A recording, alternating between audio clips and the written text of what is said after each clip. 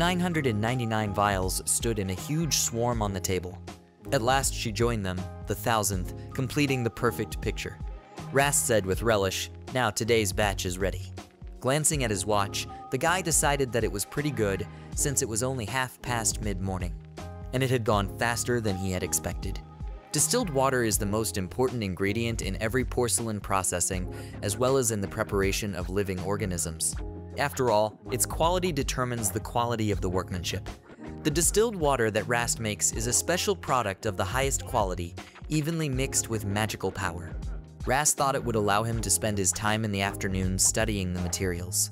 Master Liharzam greeted the young alchemist. Rast inquired as to what he could be of use but the master puzzledly replied that he didn't know how to put it. Liharzam, the blacksmith alchemist, was about to start talking about people who do basic research, but abruptly cut himself short and said that none of that mattered.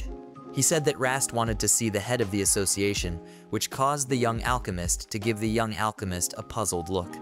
Rast thought that there was some kind of trick here, since Liharzam had come to see him, who was usually connected to him in some way after all.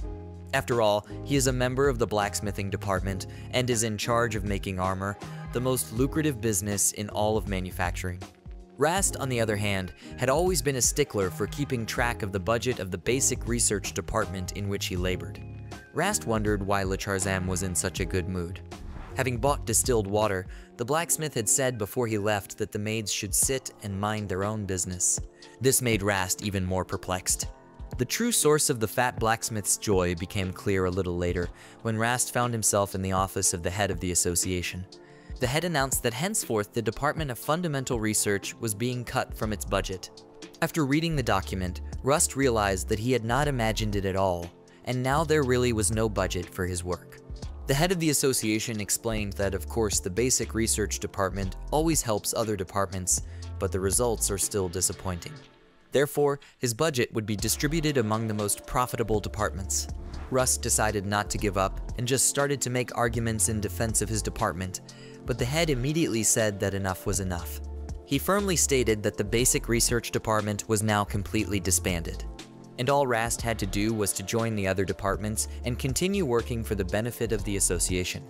The head of the association remarked that Rast should be grateful in general that he hadn't been fired yet, and as soon as he knew what useful things to do, he could get to work.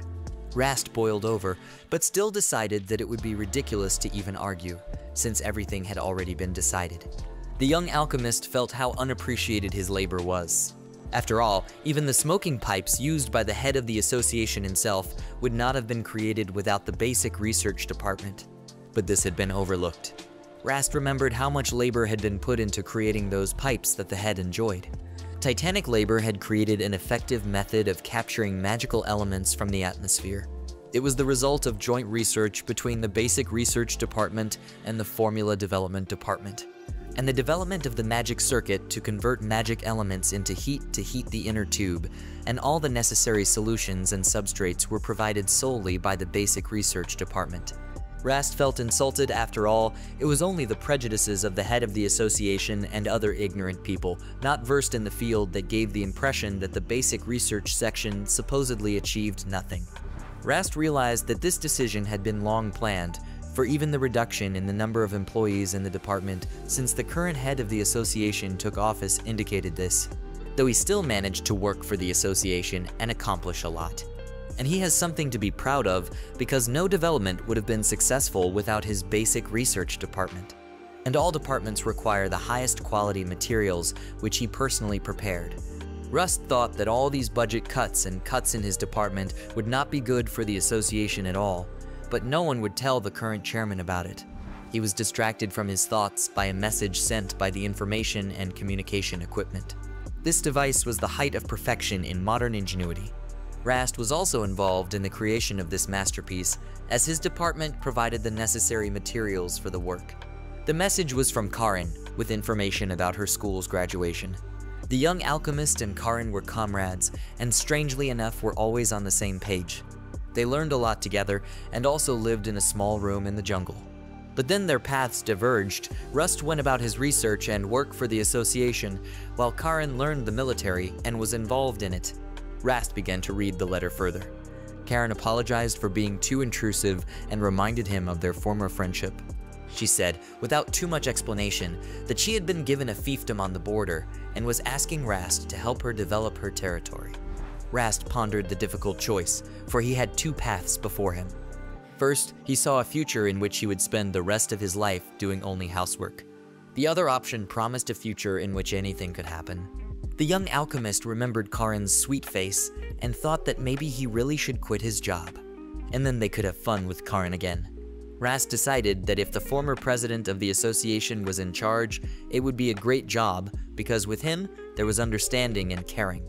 In particular, the former head of the association, Halhammer, was someone who had gone through all levels of training himself and understood the importance of basic research. And many of the developed recipes in the department were created with his input. Halhammer appreciated the work of the basic research department and expressed its merit many times in general meetings.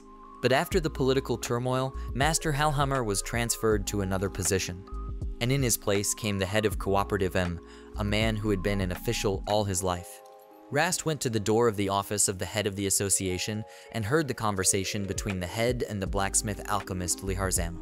The topic of their discussion was the reallocation of budget funds, as well as increasing the funding for the Forge's work at the expense of closing the basic research department. From the conversation, it was clear that the priority was given to development over samples in the arsenal, and it became clear that the closure of the research department was done for that purpose only. Rast thought resentfully that they could have been quieter in expressing their joy. The young alchemist entered the office and immediately received a portion of negativity. The head of the association exclaimed that he should not come here so easily. Rast's visit caused the head of the association a fit of rage, which he did not even try to hide, shouting loudly and shaking the table with his hand. Rast gathered his thoughts and made a decision and said that he was quitting.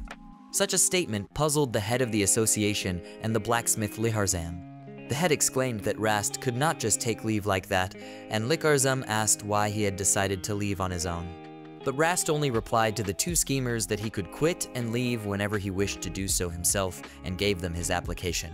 The young alchemist explained that the labor contract only applied to the basic research department, and he had only come to this job with the assurance that he would be doing research in the basic research section. But thanks to someone, it just so happened that the basic research section had been disbanded. And that meant that he could leave his job in that organization on the same day. The blacksmith alchemist Liharzam asked, what about the household chores now, and who would even make distilled water for him?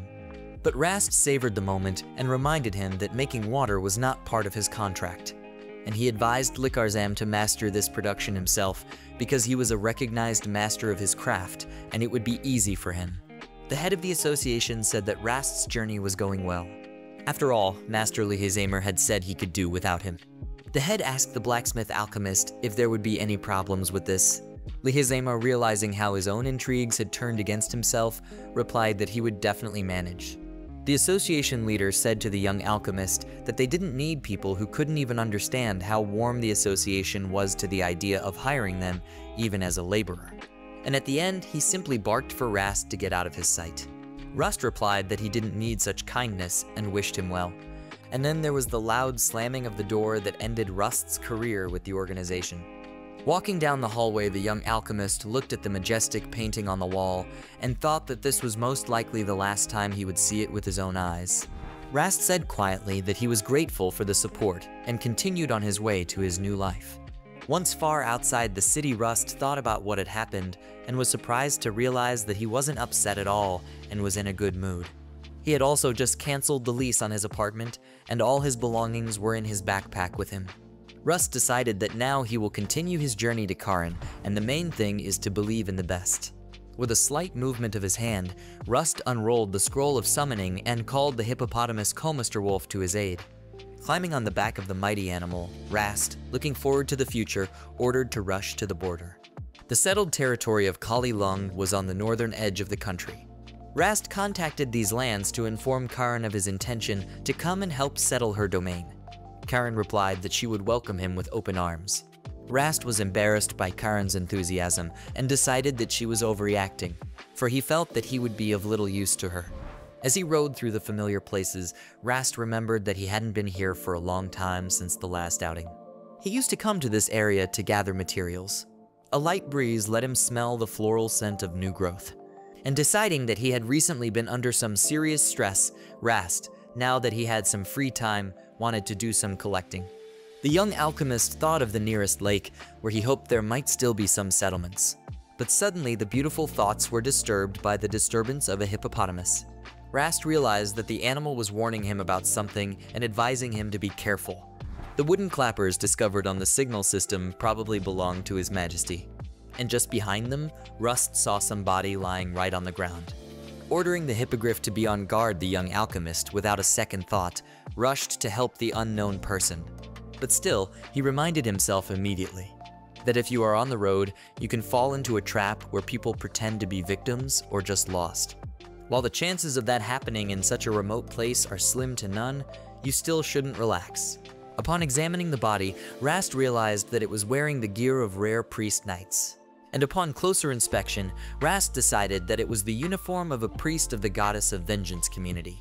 The heat from the body indicated a high temperature of the victim, and it was obvious that this girl was unconscious. Rast remembered that there were fever-reducing herbs nearby along the road, though it was unlikely that this priest would know such intricacies of the local vegetation. Rast decided he needed to clear his victim's airways and check her condition. Apologizing in advance for his manipulations, Rast turned the body over and was horrified, for the girl was under compression and perhaps plus she had been struck by a curse. Deciding not to take too long to help the victim, Rast took out a scroll of creation and began the process. Using magical diagnostics, Rast analyzed the girl's condition. Rast recognized now for sure that she had a very high fever and her health level was at an extremely low level. It became obvious that the girl was not easy for the priest. The young alchemist thought that somehow his carefree journey had been quickly replaced by heavy worries. After continuing to examine the injured girl, Rast was still able to discover the cause of such a high fever. The girl had severe wounds on her side and back, and now everything was clear. And it was also revealed that a type of poison had been used against her, and such a poison could only come from a familiar. Rast realized that his potions were not suitable for healing such a serious problem. After examining the local vegetation, the young alchemist decided in such a case to urgently make a new healing potion. Rast ordered his faithful hippopotamus to guard the wounded girl and went in search of the necessary ingredients.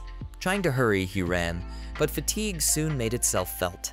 Rast trying to catch his breath, thought that he shouldn't have skipped his daily exercise and it would be easier now. And now it was worth thinking about and taking up training, or it wasn't a good thing to get tired so quickly. Rast decided not to waste time and use the recovery potion to start breathing normally as soon as possible. Upon reaching the forest lake, Rast said that this was what he was looking for. Examining the vegetation Rast was slightly disappointed, for it was obvious that the grass was getting smaller and it was obvious that someone was here regularly collecting medicinal plants. This place was a rich source of medicinal herbs. White bellflower helps to increase body regeneration, yellow creeper helps to regenerate injured body parts, and pale larch is great at removing toxins from the body. Although the ordinary plant has little effect on the body, but when a potion is created from it, the effectiveness changes significantly. Rast was glad that he found this girl now, because if it had happened later, it would have been difficult to save her from the effects of such a strong poison. As it was, he was sure she would be fine once he made the new potion. Rast even remembered his brother, who once found himself in a similar situation. Busy making the potion, Rast realized that speed of melting should be a priority and began to work his magic. Having finished the initial stage of preparation, Rast moved on to releasing the gravitational yoke and began to gradually combine the necessary components of the future potion. The last thing Rast did was to purify the product, a process that required the utmost attention because otherwise everything could be spoiled. Every time Rast created potions, he always had Aramanaki because he didn't want to mess with them and had to prepare them in advance. Rast thought he had a huge problem in that he was creating everything he could. And this special water is like a concept, and it becomes what it eventually needs to become. Generally speaking, of course, there are a few tricks to creating the perfect concept. Like reading a thousand books in a day or creating a thousand bottles of potions in a day.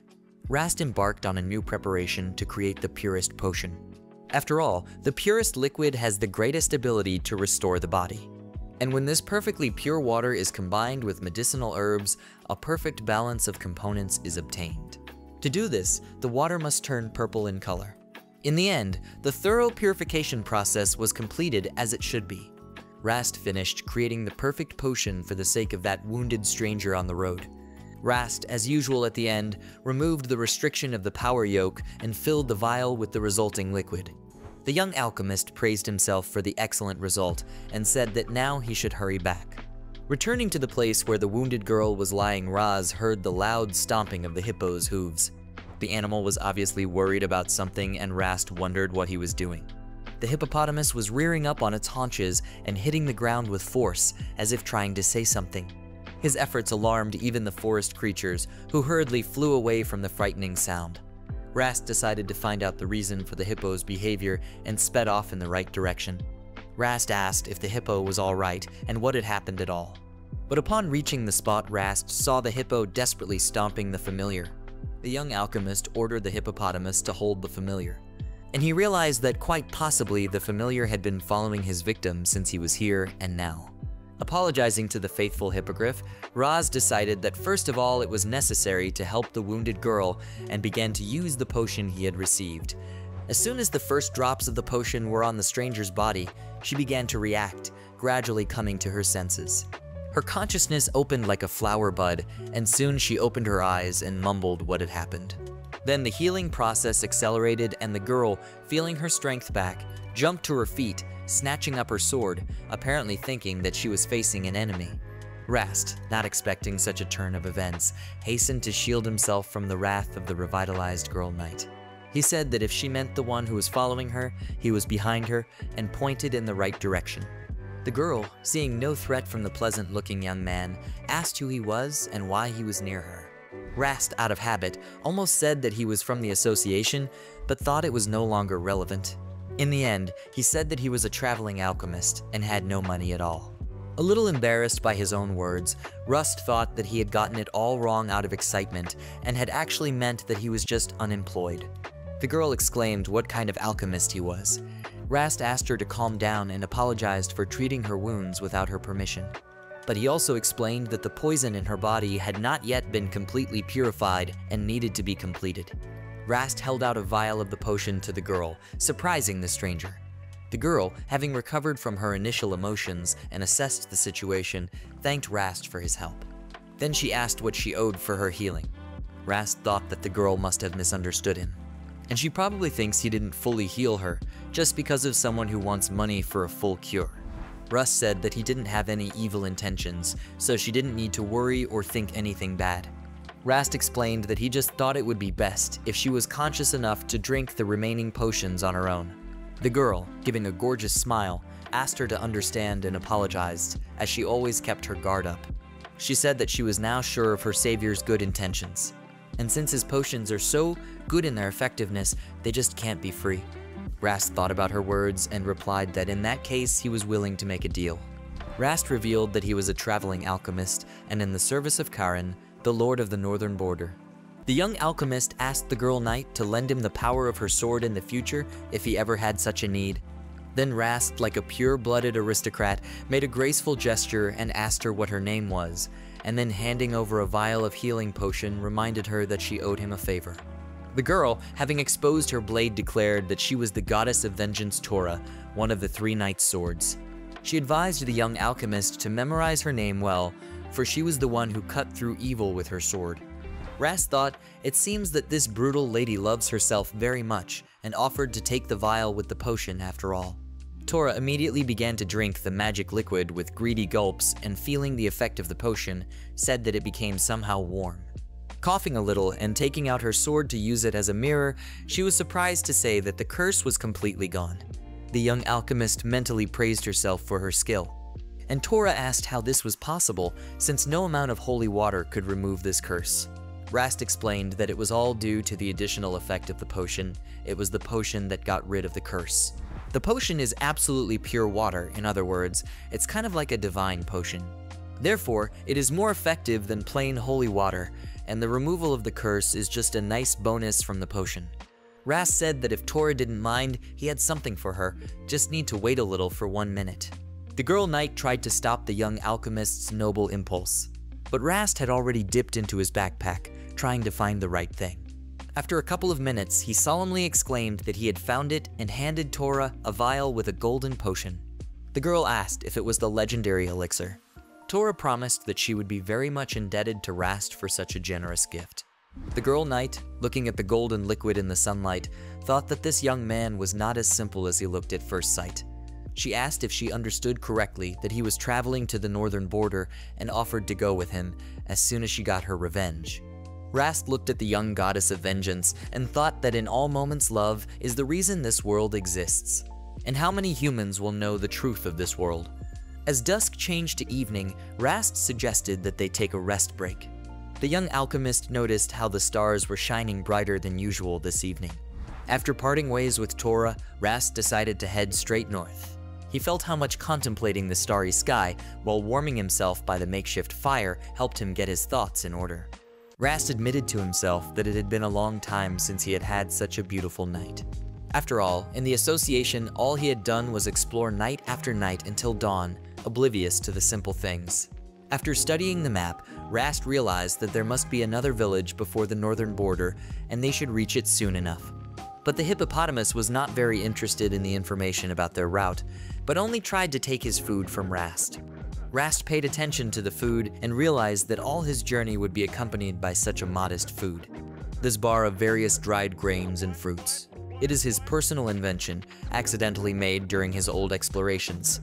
Rast remembered with a smile how Karin had called his bar an herbal brick because of its peculiar flavor. Though it didn't actually taste that bad, especially to a peckish person. Rast decided it would be a good idea to arrive at that village by the next evening. After another impressive stretch of travel, Rast looked at the map again and wondered why the hippopotamus had stopped. The young alchemist looked around the area and decided that the village was close by. But expectations were not met, and the village appeared to be abandoned. Rast said that it was the village Karin had been talking about, but he was not sure if it was. But since they had gotten here, it was worth a look around, and he thanked the hippogriff for his help. Rast used the reamer and returned the hippogriff back to the scroll, telling him, see you later. The stranger asked Rast who he was. Rast smilingly greeted the strange guy and introduced himself, explaining that he was a traveling alchemist. The friendly alchemist decided to continue his story, but the stranger looked at Rast and asked him if he was really an alchemist. He then suggested that they go to the village to meet the village headman. As he walked down the street, Rast noticed that the village was really desolate and didn't look very prosperous. Many of the houses were abandoned, and apparently there were many more of them than there were inhabited. Still, the boy led Rast to one nice looking house. Rust noticed the twigs hanging at the entrance, which apparently marked the house of the headman.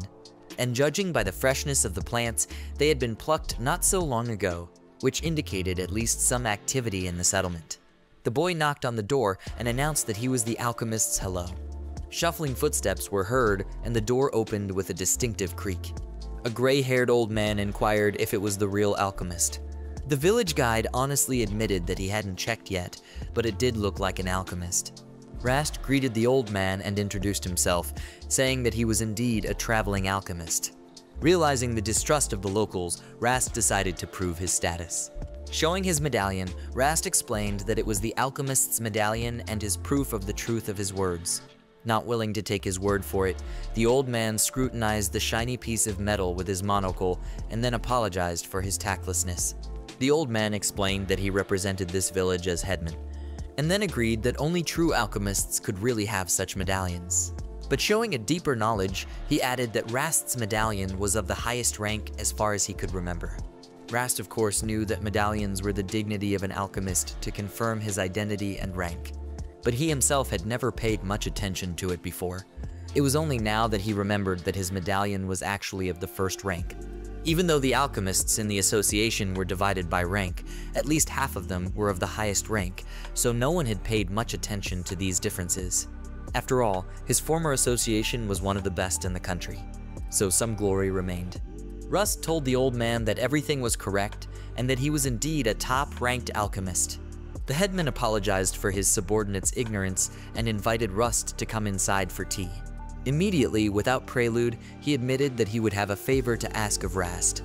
Rast guessed that the reason for the request was most likely to do with the confusing houses in the village. In addition, the fact that they were showing proper address to higher ranked alchemists showed that they were educated people. Rast thanked for the invitation and proceeded into the house, wondering if their conversation would go smoothly. The landlady apologized for the rather ordinary tea, but Rast replied that he was happy to have that as well, so no need to worry.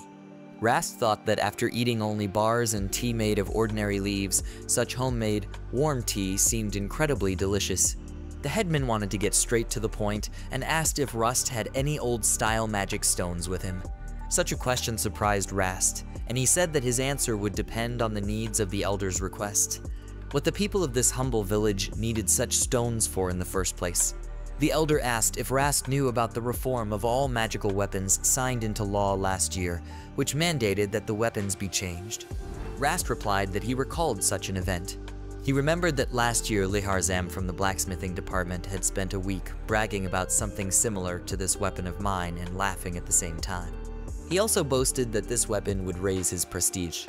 Zar, the assistant headman, said that this reform did not bring anything good and only looks good in words, but in fact powerful weapons have become useless trinkets, that's all. The headman reminded the lad of his manners and asked Zar to bring samples.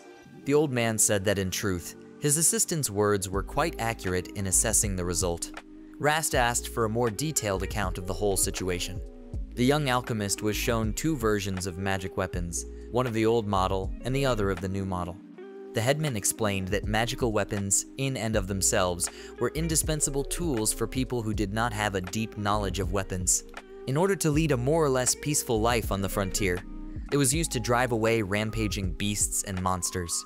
And so it was for a very long time before the reform came. But then things changed dramatically, and not for the better. The old model is a good and extremely economical thing to maintain.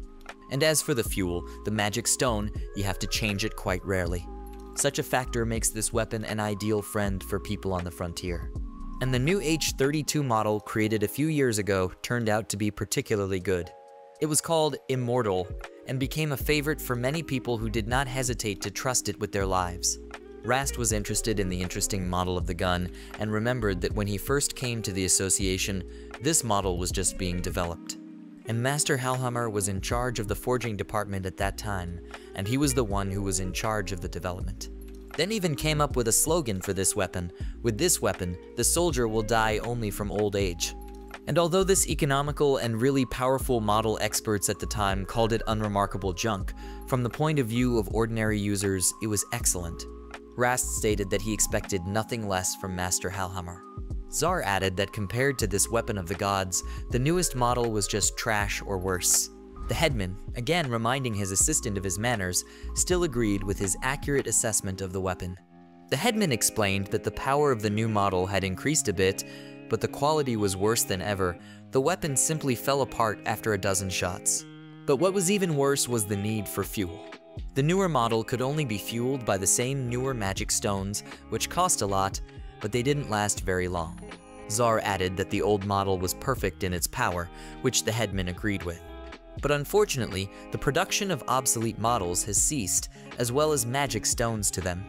And although the magic weapons of the old models still work perfectly well, but without the magic stones, which are no longer available anywhere, the weapons are useless. Zar said that's why they had to buy new models, but it turned out that they were of no use and only cost. It costs a lot of money to keep them constantly fueled, which doesn't provide enough protection. And because of this, people had to save money and let the monsters run wild. But even if people did not save money, there were times when the weapons simply exploded or broke due to poor workmanship. As a result, the damage from beasts and monsters increased many times over. People became afraid, and the breadwinners of families couldn't hunt. Rast asked, and the residents ended up being forced to move to calmer lands. Was that how he understood everything? The headman only nodded in agreement.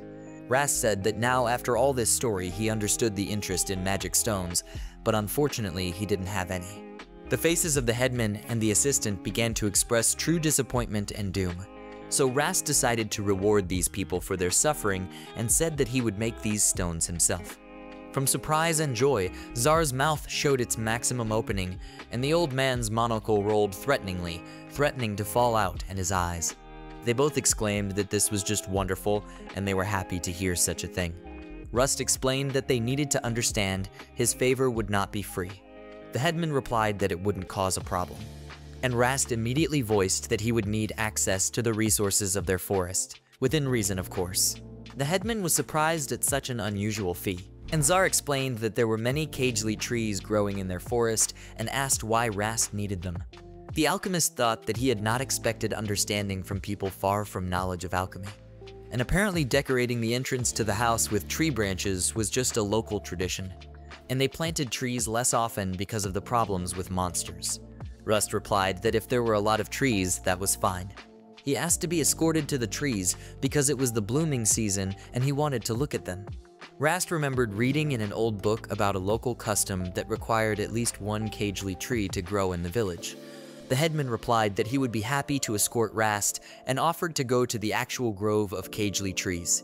To Rast's surprise, all the villagers gradually joined in their trek and were clearly interested in the strange visitor. He thought that this small village must have a problem with entertainment, since such a crowd of gawkers had gathered. Though there were, oddly enough, almost no children among the people. Once in the Kagel Grove, Rast felt the splendor of the trees. Rast asked the headman to help him gather some of the materials that had fallen from the trees. The headman, immediately remembering his status, organized all the villagers to collect the fruits and branches of the Kagel and ordered them to bring everything they collected to him. The work boiled over and soon Rast was given a pile of fruits and branches of this unique tree. Rast thanked them for their help and decided that he had enough. Rast decided to start practicing alchemy and people began to watch him with interest. First of all, Rast needed a magic monster stone to create the stones he needed, but that wasn't the end of the story, and he began the process. People began to animatedly discuss the young alchemist who was working wonders before their eyes. They told each other that alchemists of this level had secret arts and could create anything from literally nothing. Hearing their voices, Rast thought that there were quite a few of them gathered, and yet they understood absolutely nothing about alchemy and now he was putting on a free show in which he was performing miracles that only he could understand. Having completed the process of creation, Rast began to purify himself to the admiration of all. He thought that maybe he should now show off his special method of creation to create a stone himself from magical particles in the air. In general, such stones that are usually obtained from monsters do not appear out of nowhere. They crystallize in the bodies of monsters over a very long period of time from magic particles in the atmosphere. And so stones can be created by filtering the air, extracting magical particles from it, and then crystallizing them. By creating stones using this principle, one could avoid the cost of trying to hunt monsters. Rast noticed just the right particles, also of high density. Rast thought how surprised all these people were since they had no idea what was going on but now at least they would see his special purification technique. After all, only he and the entire universe can create stones in this way. And that will make this moment even more unforgettable for people. Rast took the fruit of the Kagel and intended to use it as a vessel for crystallizing magical particles. After all, such a fruit is widely used in a wide variety of recipes as one of the ingredients. Continuing to make spectacular movements with his hands, delighting the audience more and more, Rast began the polishing process. Immediately, the enthusiastic voices of the villagers could be heard, who were apparently happy. Their delight was a wind funnel, which they had never seen before.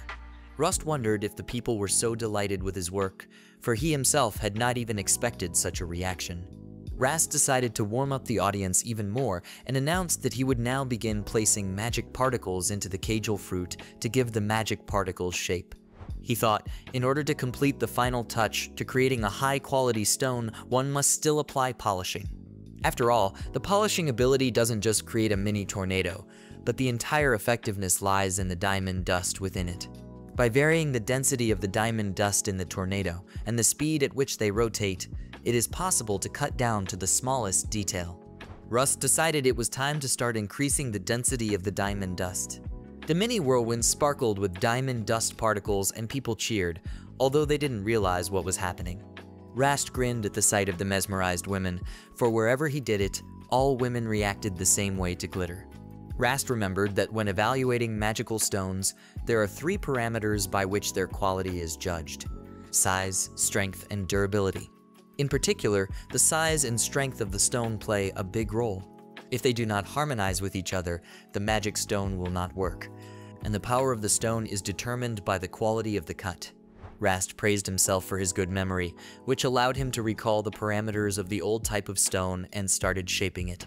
Having corrected some inaccuracies on the way to the goal, the alchemist exhaled and said that it seems to be ready. All that remained was to finish the final touches in sealing the magical particles in the Kagel fruit. The magic stone, created in such a rare and unusual way, sparkled with its novelty in Rast's hand. The young alchemist, pleased with himself, admitted that it was even better than he had expected. Rast asked if the headman would do him the honor of trying out the weapon. The headman replied that he would be happy to do so. Visibly worried, he loaded the weapon with the new magical stone, and to everyone's joy it fired upwards. People shouted and applauded with joy. And someone even exclaimed that now one could live and not be afraid. Rast thought that when you see such joyful faces, you realize that all your deeds were not in vain. Rast, after resting a bit, decided that he needed to make some more stones for these residents and began the creation process again. He then created a simultaneous progression of three sets. The whole circle was saturated with magical particles that swirled around and glittered in sunny color. The people still did not disperse and continued to watch the amazing alchemist at work.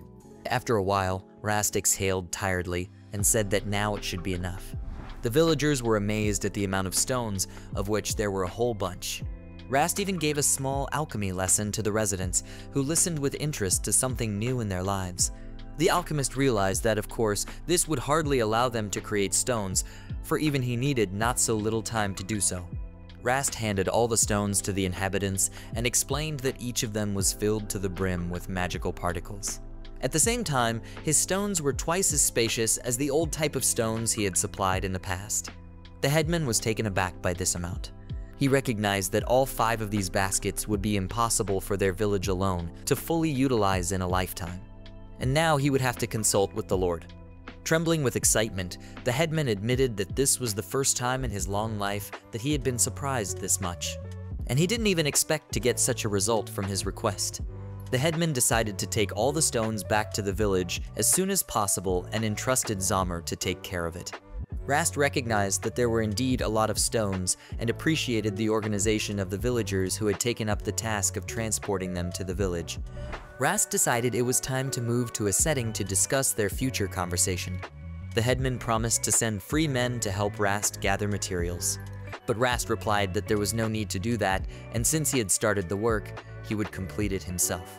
Activating the polish and release, Rast mentally thanked the villagers for their initiative, since they had even volunteered to help him with the materials. Deciding that he no longer needed the diamond dust, Rast began to lower its density to zero. He also simultaneously whirled all the branches and fruits of the Kagel into a tornado. The villagers became animated by this performance and began to praise Rast for his skill, for he was able to clear everything very quickly without counting all the work. Meanwhile, Rast was putting the finishing touches on everything and putting everything into bags. When he had finished cleaning up, Rast asked the headman to move with him to a more comfortable place to talk. The headman agreed and ordered his assistant to finish all the work and return home. Zar promised to do it right and reminded him that he could be relied on.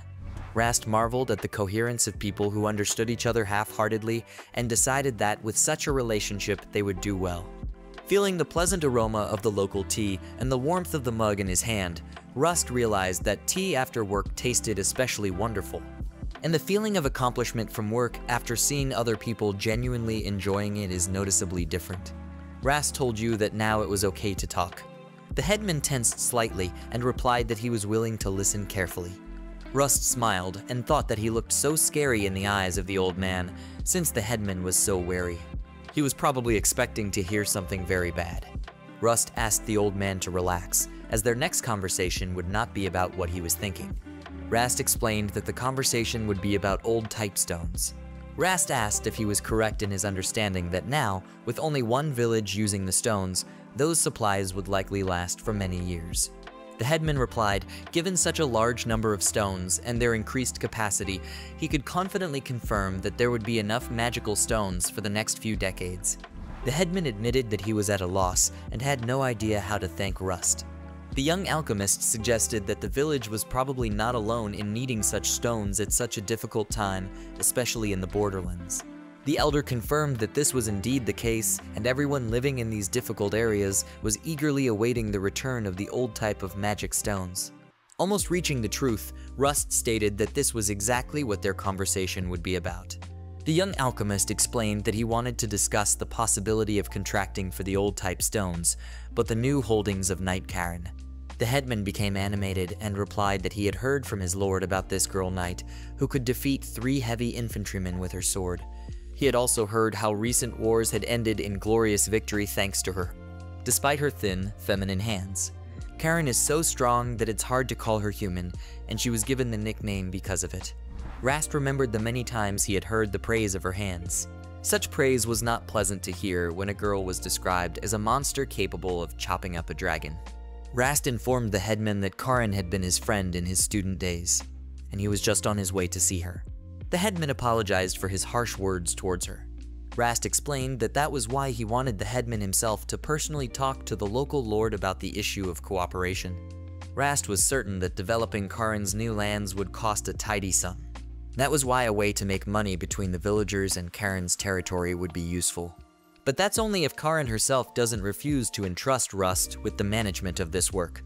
And if she trusts his project and entrusts him with all the worries associated with it, it is certain that the local lords will make a favorable deal even with a small amount of work. Rast said that the most important thing was to lay the groundwork to start the cooperation. And such a foundation was already in place, for he had already provided this village with the magic stones they needed. This was a gift with a view to future cooperation, which the headman was happy about. The headman thanked them for their great help and agreed that Rast's offer would be extremely beneficial to them. Rast said who would like to send the letter, and the headman immediately ordered to give Master Rast paper and pen. Rast thought there was something else, and he now needed a root canal. And for that, the letter would be addressed to another one of his school friends besides Karin. He's just now in the military, and this case involves a conflict of interest regarding magical gems.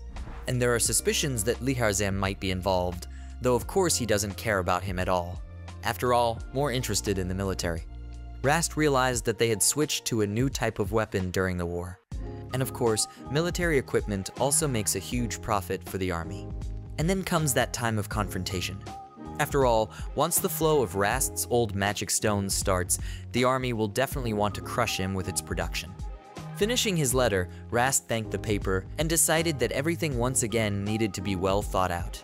The headman offered to handle the mailing of the letter, and Rast began sealing the letter with his medallion. The seal was unique and would serve as proof of the sender's identity. Rast said that it was now time for him to continue on his way, and the headman immediately offered to stay another night. But the alchemist refused, explaining that he had already spent a lot of time working in the village, so he could not linger any longer. The villagers, when they heard the young alchemist leaving their village, rushed to him. Everyone wanted to ask for something different, someone asked for help with household chores, someone decided that Rast would improve his old axe, and there were a lot of such requests. But Rast promised that he would definitely visit the village again and set off. Soon enough he was at his goal, ahead of him was the border.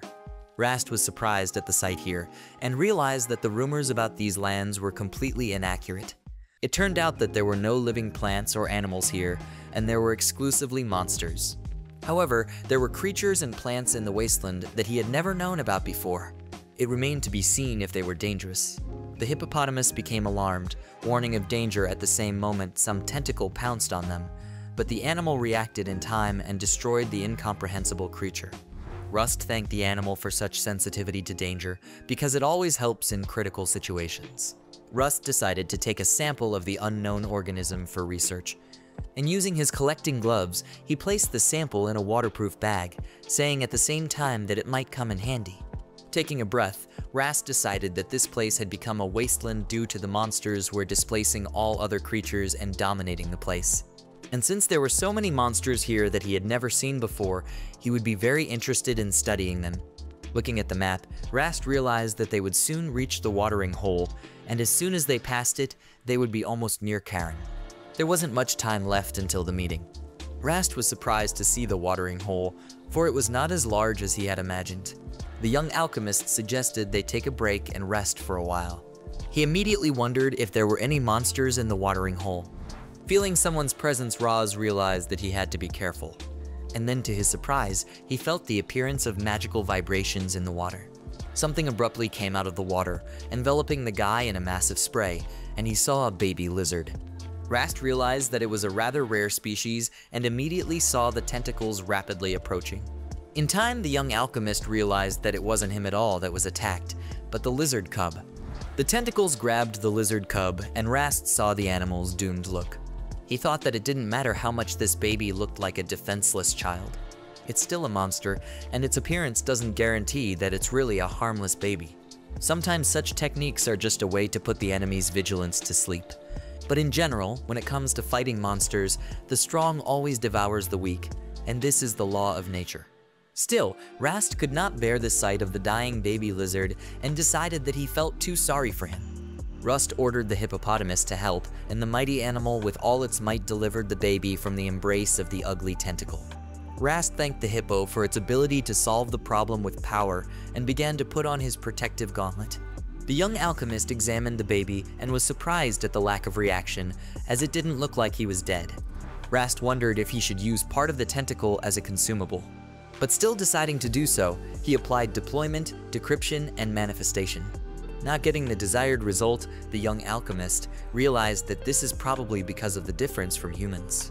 And that is why it is not possible to read the information properly. But immediately realized that the problem was something else entirely, the view was simply blocked. After changing the settings a little, Rast realized that the animal was in a stage of complete exhaustion. The activity of its mitochondria had dropped to an extreme maximum, though it was still difficult to judge the monster's full condition. Seeing the hippopotamus headed for the pond, Rast asked him to be careful, for who knew what else was out there. Rast decided that it would be nearly impossible to quickly prepare an excellent potion with the current state of this lizard, since there was no way to know for sure what the monster's condition was when it was normal. And in such cases, it was better to limit oneself to safe potions. To the young alchemist's surprise, the hippo pulled something strange out of the water. Rast asked if it was the same monster that had attacked the baby. The hippopotamus showed with his whole appearance that it was. Rast applied the potion, but was disappointed because the baby never woke up. Although the analysis showed that the level of mitochondrial activity clearly increased in the monster, and it's almost at the normal human level. It turns out that its limit value is many times greater and the difference between humans is significant. Rast noticed that it is unusual for a hippo to be so friendly to some monster because the hippo is very sensitive to any hostility and anger and we can assume that the lizard is not a dangerous or evil monster at all. Rast thought that if we just leave it as it is, then it is unlikely that the lizard will have a chance for salvation.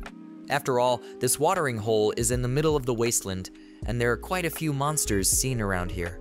In addition, the disappearance of the monster with tentacles can attract new inhabitants of these places. So leaving the little one here unattended would definitely kill him. Rast asked the hippopotamus if they should take the baby lizard with them, to which the mighty beast nodded his head approvingly. After studying the map, Rast said they should follow the river that flowed from this watering hole. After a short distance on the planned route, Rast saw a settlement ahead. He said it looked like this was Karin's camp. Rast asked the hippogriff to stop and got down on the ground. The young alchemist showed off his medallion and said his name is Rast. He is also a master rank alchemist and belongs to the School of Fundamental Truth. Rast said that he had come here at the request of Knight Karin, so he was asking to be welcomed into the camp. A girl with a scarf hiding her face came out to meet Rast. The girl stated that they were happy to host Master Rast. She explained that there were monsters on the border that could imitate humans and apologized for such a suspicious welcome. Looking at the armament of the warriors, Rast realized that this was exactly what the hippopotamus had warned him about, for if they came even a little closer, you would enter their attack zone. Rast said that of course you understood and praised the warriors for their skillful disguise. Rast asked if those cloth blindfolds over their eyes were created with magic. The girl answered that they were perfectly trained to act stealthily, but despite such skill, Rast still somehow managed to detect them and now they could see why Mistress Karin was so complimentary of Master Rasta. The girl explained that their bandages were just a piece of cloth without any magic. Rast noticed that the patterns of blue and red eyes were applied to the bandages. And judging by their appearance, they looked very similar to magical items, so the meaning of their application was not quite clear. The girl asked if there really was some kind of monster on the back of the riding hippo. Immediately, the girls got into an argument from which it became clear that they were sisters. One of them was called Ari, and she was trying to quiet Roa, who had asked about the monster. Ari asked her sister if she meant to say that they couldn't let Master Rasta in because of that little monster. And was Roa really going to fight him? The argument subsided and Ari apologized for her sister's behavior. Rast thought it was a good thing that the situation had not turned into a useless battle. After all, he wouldn't want to get into trouble at the very beginning of his work. And in general, it seemed that these girls had some kind of special gift of guidance, since they were able to identify the monster that was hidden on the behemoth so quickly. And the younger sister was most likely watching their approach from afar, and it's unclear if she can read other people's abilities. Rast realized that no matter how it was, this white lizard was still a cause for concern. The young alchemist said that he understood the valid concerns perfectly. Well as for this white lizard, he is willing to take responsibility for it as well as his medallion. Ari thanked the young alchemist for his generous and sincere words and offered to follow them. She promised that they would escort Master Rasta to Mistress Karin. After walking a short distance, they found themselves at a large tent and Ari said that Rast was now in place. Entering the tent, the young alchemist was surprised at how busy the people were with preparing and sending messages. Rast, seeing the advanced communication equipment, decided that this place, this was some sort of centralized information headquarters in the camp. Suddenly Karin appeared and exclaimed that Rast had finally gotten to her. Rast saw a familiar girl that was dear to him and old feelings came flooding back. Karin shook hands with the alchemist and admitted that they had been waiting for him for a long time. Rast immediately asked to loosen his grip as he felt an unbearable pain in his hand. Karin began to say how long it had been since they had seen each other, though Rast had not aged a bit. The young alchemist replied that it was irrelevant and called her school friend mistress. Karin only hummed and said that Rast was still the same as he was. Karin said that despite the considerable remoteness of this area Rast had managed to get here quite easily. She asked how he had managed to avoid trouble with the two sisters who she realized had come out to meet him. After hearing about the sisters meeting him, Rast realized that Karin had purposely sent the sisters out to meet him so that they would be able to sort things out in case there were any problems with him. Though it was understandable that Karin had enough reason to think about such matters, since she had been involved in all of this for quite some time. So the sisters took the risk of further conflict among themselves when they agreed to go along with it. Rast thought that in that case, he did not have to go along with Karin and tell him what was going on, at least not right now. Rast replied that there were no problems with the sisters and the meeting was calm. Karin said that was good and offered to end the idle chatter as she had something to show. She asked the workers to take a short break and leave her alone with Rast. Karin looked around the room and said it was a pity there was no table. But she immediately found a solution and forcefully pulled a huge wooden box. Rast thought that she hadn't changed at all and was still as strong and rough. Karin solemnly said that this was now a great place and shouted to her sisters Ari and Roa to bring tea. Rast asked if Karin had a problem since she was so careful to get everyone out of the tent. Karin replied that she had expected her old friend to get straight to the point without much foreplay. Rast said that he had been right, for he had expected it to be the carefree life of a pioneer. A measured, quiet life with the sun setting over a land devoid of magic. When he had finished describing his expectations, Rast asked what it was all about. Karin explained that the magic here is harmful to all plants, and that is why it is so important to eliminate this magic. Otherwise, you won't see new crops. Karin said that the task was not easy, but Rast didn't think she would ask for something simple. Karin explained that the young alchemist Rast would first have to deal with treating a local disease that had spread widely in this camp and she'd like to ask Rast to deal with the cause of the occurrence, its outbreaks. Karin said that a special tent had been prepared for Rast, and he could use it at his discretion. Rast thought about the difficult task and replied that he understood and decided to go to the tent. Rast tried to understand what Karin meant by the words local disease, and whether it meant that the symptoms of the malady had only begun to appear after arriving at this particular camp. Rast decided to postpone the theories for later, but first to find out and evaluate how this strange disease was manifesting itself. Rast said hello to the locals and noticed their strange looks. The people seemed to him extremely wary. Rast realized that in addition to dealing with the disease, he had to gain the trust of these people. The sisters pointed to the tent and said that it belonged to Rast now. The young alchemist thought it was a good thing he had met the sisters first. He noticed one of them, Roa, keeping an eye on him. Suddenly, Roa advised Rast to do everything not to shame Mistress Karin, otherwise he would not be forgiven. Ari immediately reminded her sister about restraint and manners. Rast could not find anything to say, but thought that he had jumped to conclusions about the usefulness of the meeting with his sisters. Rast looked around the tent and was glad that it was a one-person tent and would be more comfortable. It was larger than he had expected, though. Rast felt that such privileges for him would send a silent message to the other campers, and he had yet to understand their reaction to his stay. Once inside the tent, Rast realized that it was completely devoid of any furniture and decided that Karin knew him well after all.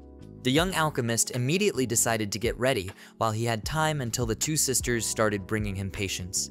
Rast set to work and decided to first treat the carpet with purification and put it on the floor, because it would be much better that way and this would be a simple preparation of the tent floor's dust and moisture protection.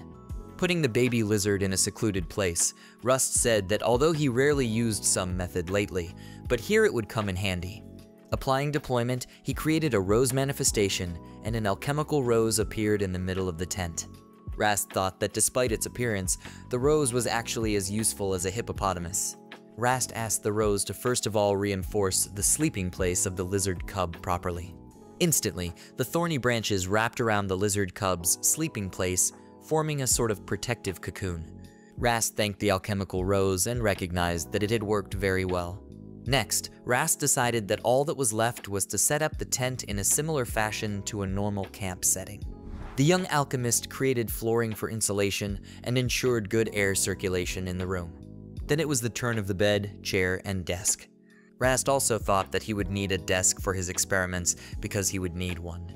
Rast remembered that he had created an alchemical rose during his student days.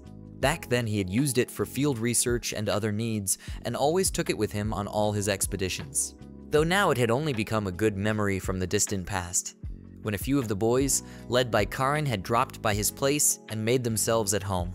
Rast's thoughts were interrupted by the voice of one of the nurses, who announced that she had brought a man who had contracted a local disease and asked if he could come in.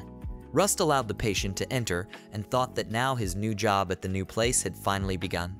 The patient complained that he had a general lethargy throughout his body. Yes, and in general, he gets tired pretty quickly and also feels heavy in his legs. Rast replied that he understood and promised to make suitable potions to address these symptoms, Rast realized that it took a whole day to recognize and treat the symptoms. The young alchemist decided that temporary measures should be taken first, but the top priority, of course, was complete healing. It would be good if the true cause could be determined from the accompanying signs. But if, of course, the whole situation would allow for a slow and thorough investigation. The patient remembered and said that since yesterday evening, he had felt a slight numbness in his right arm. Rast thought about the problem and decided that there was a risk of paralysis. And if that was the case, there was a risk of irreparable damage.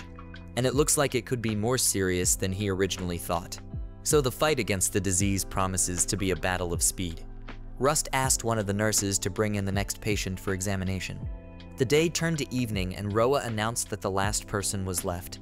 Roa marveled at how quickly Rast had gotten everyone in. Rast in turn thanked the girl for a good job. The young alchemist summed up his first day of work with satisfaction. He decided that he had managed to deal with the initial treatment of all the sick people by the end of the day. The last patient complained of extreme fatigue and numbness in his arms and legs. Rast promised to make a potion for him that would restore his body to normal. And after he took the medicine, they would observe the progress of the changes in his condition. Rast thought that he reads the individual peculiarities of each sick person's condition and makes typical auxiliary potions for them, taking into account all the peculiarities.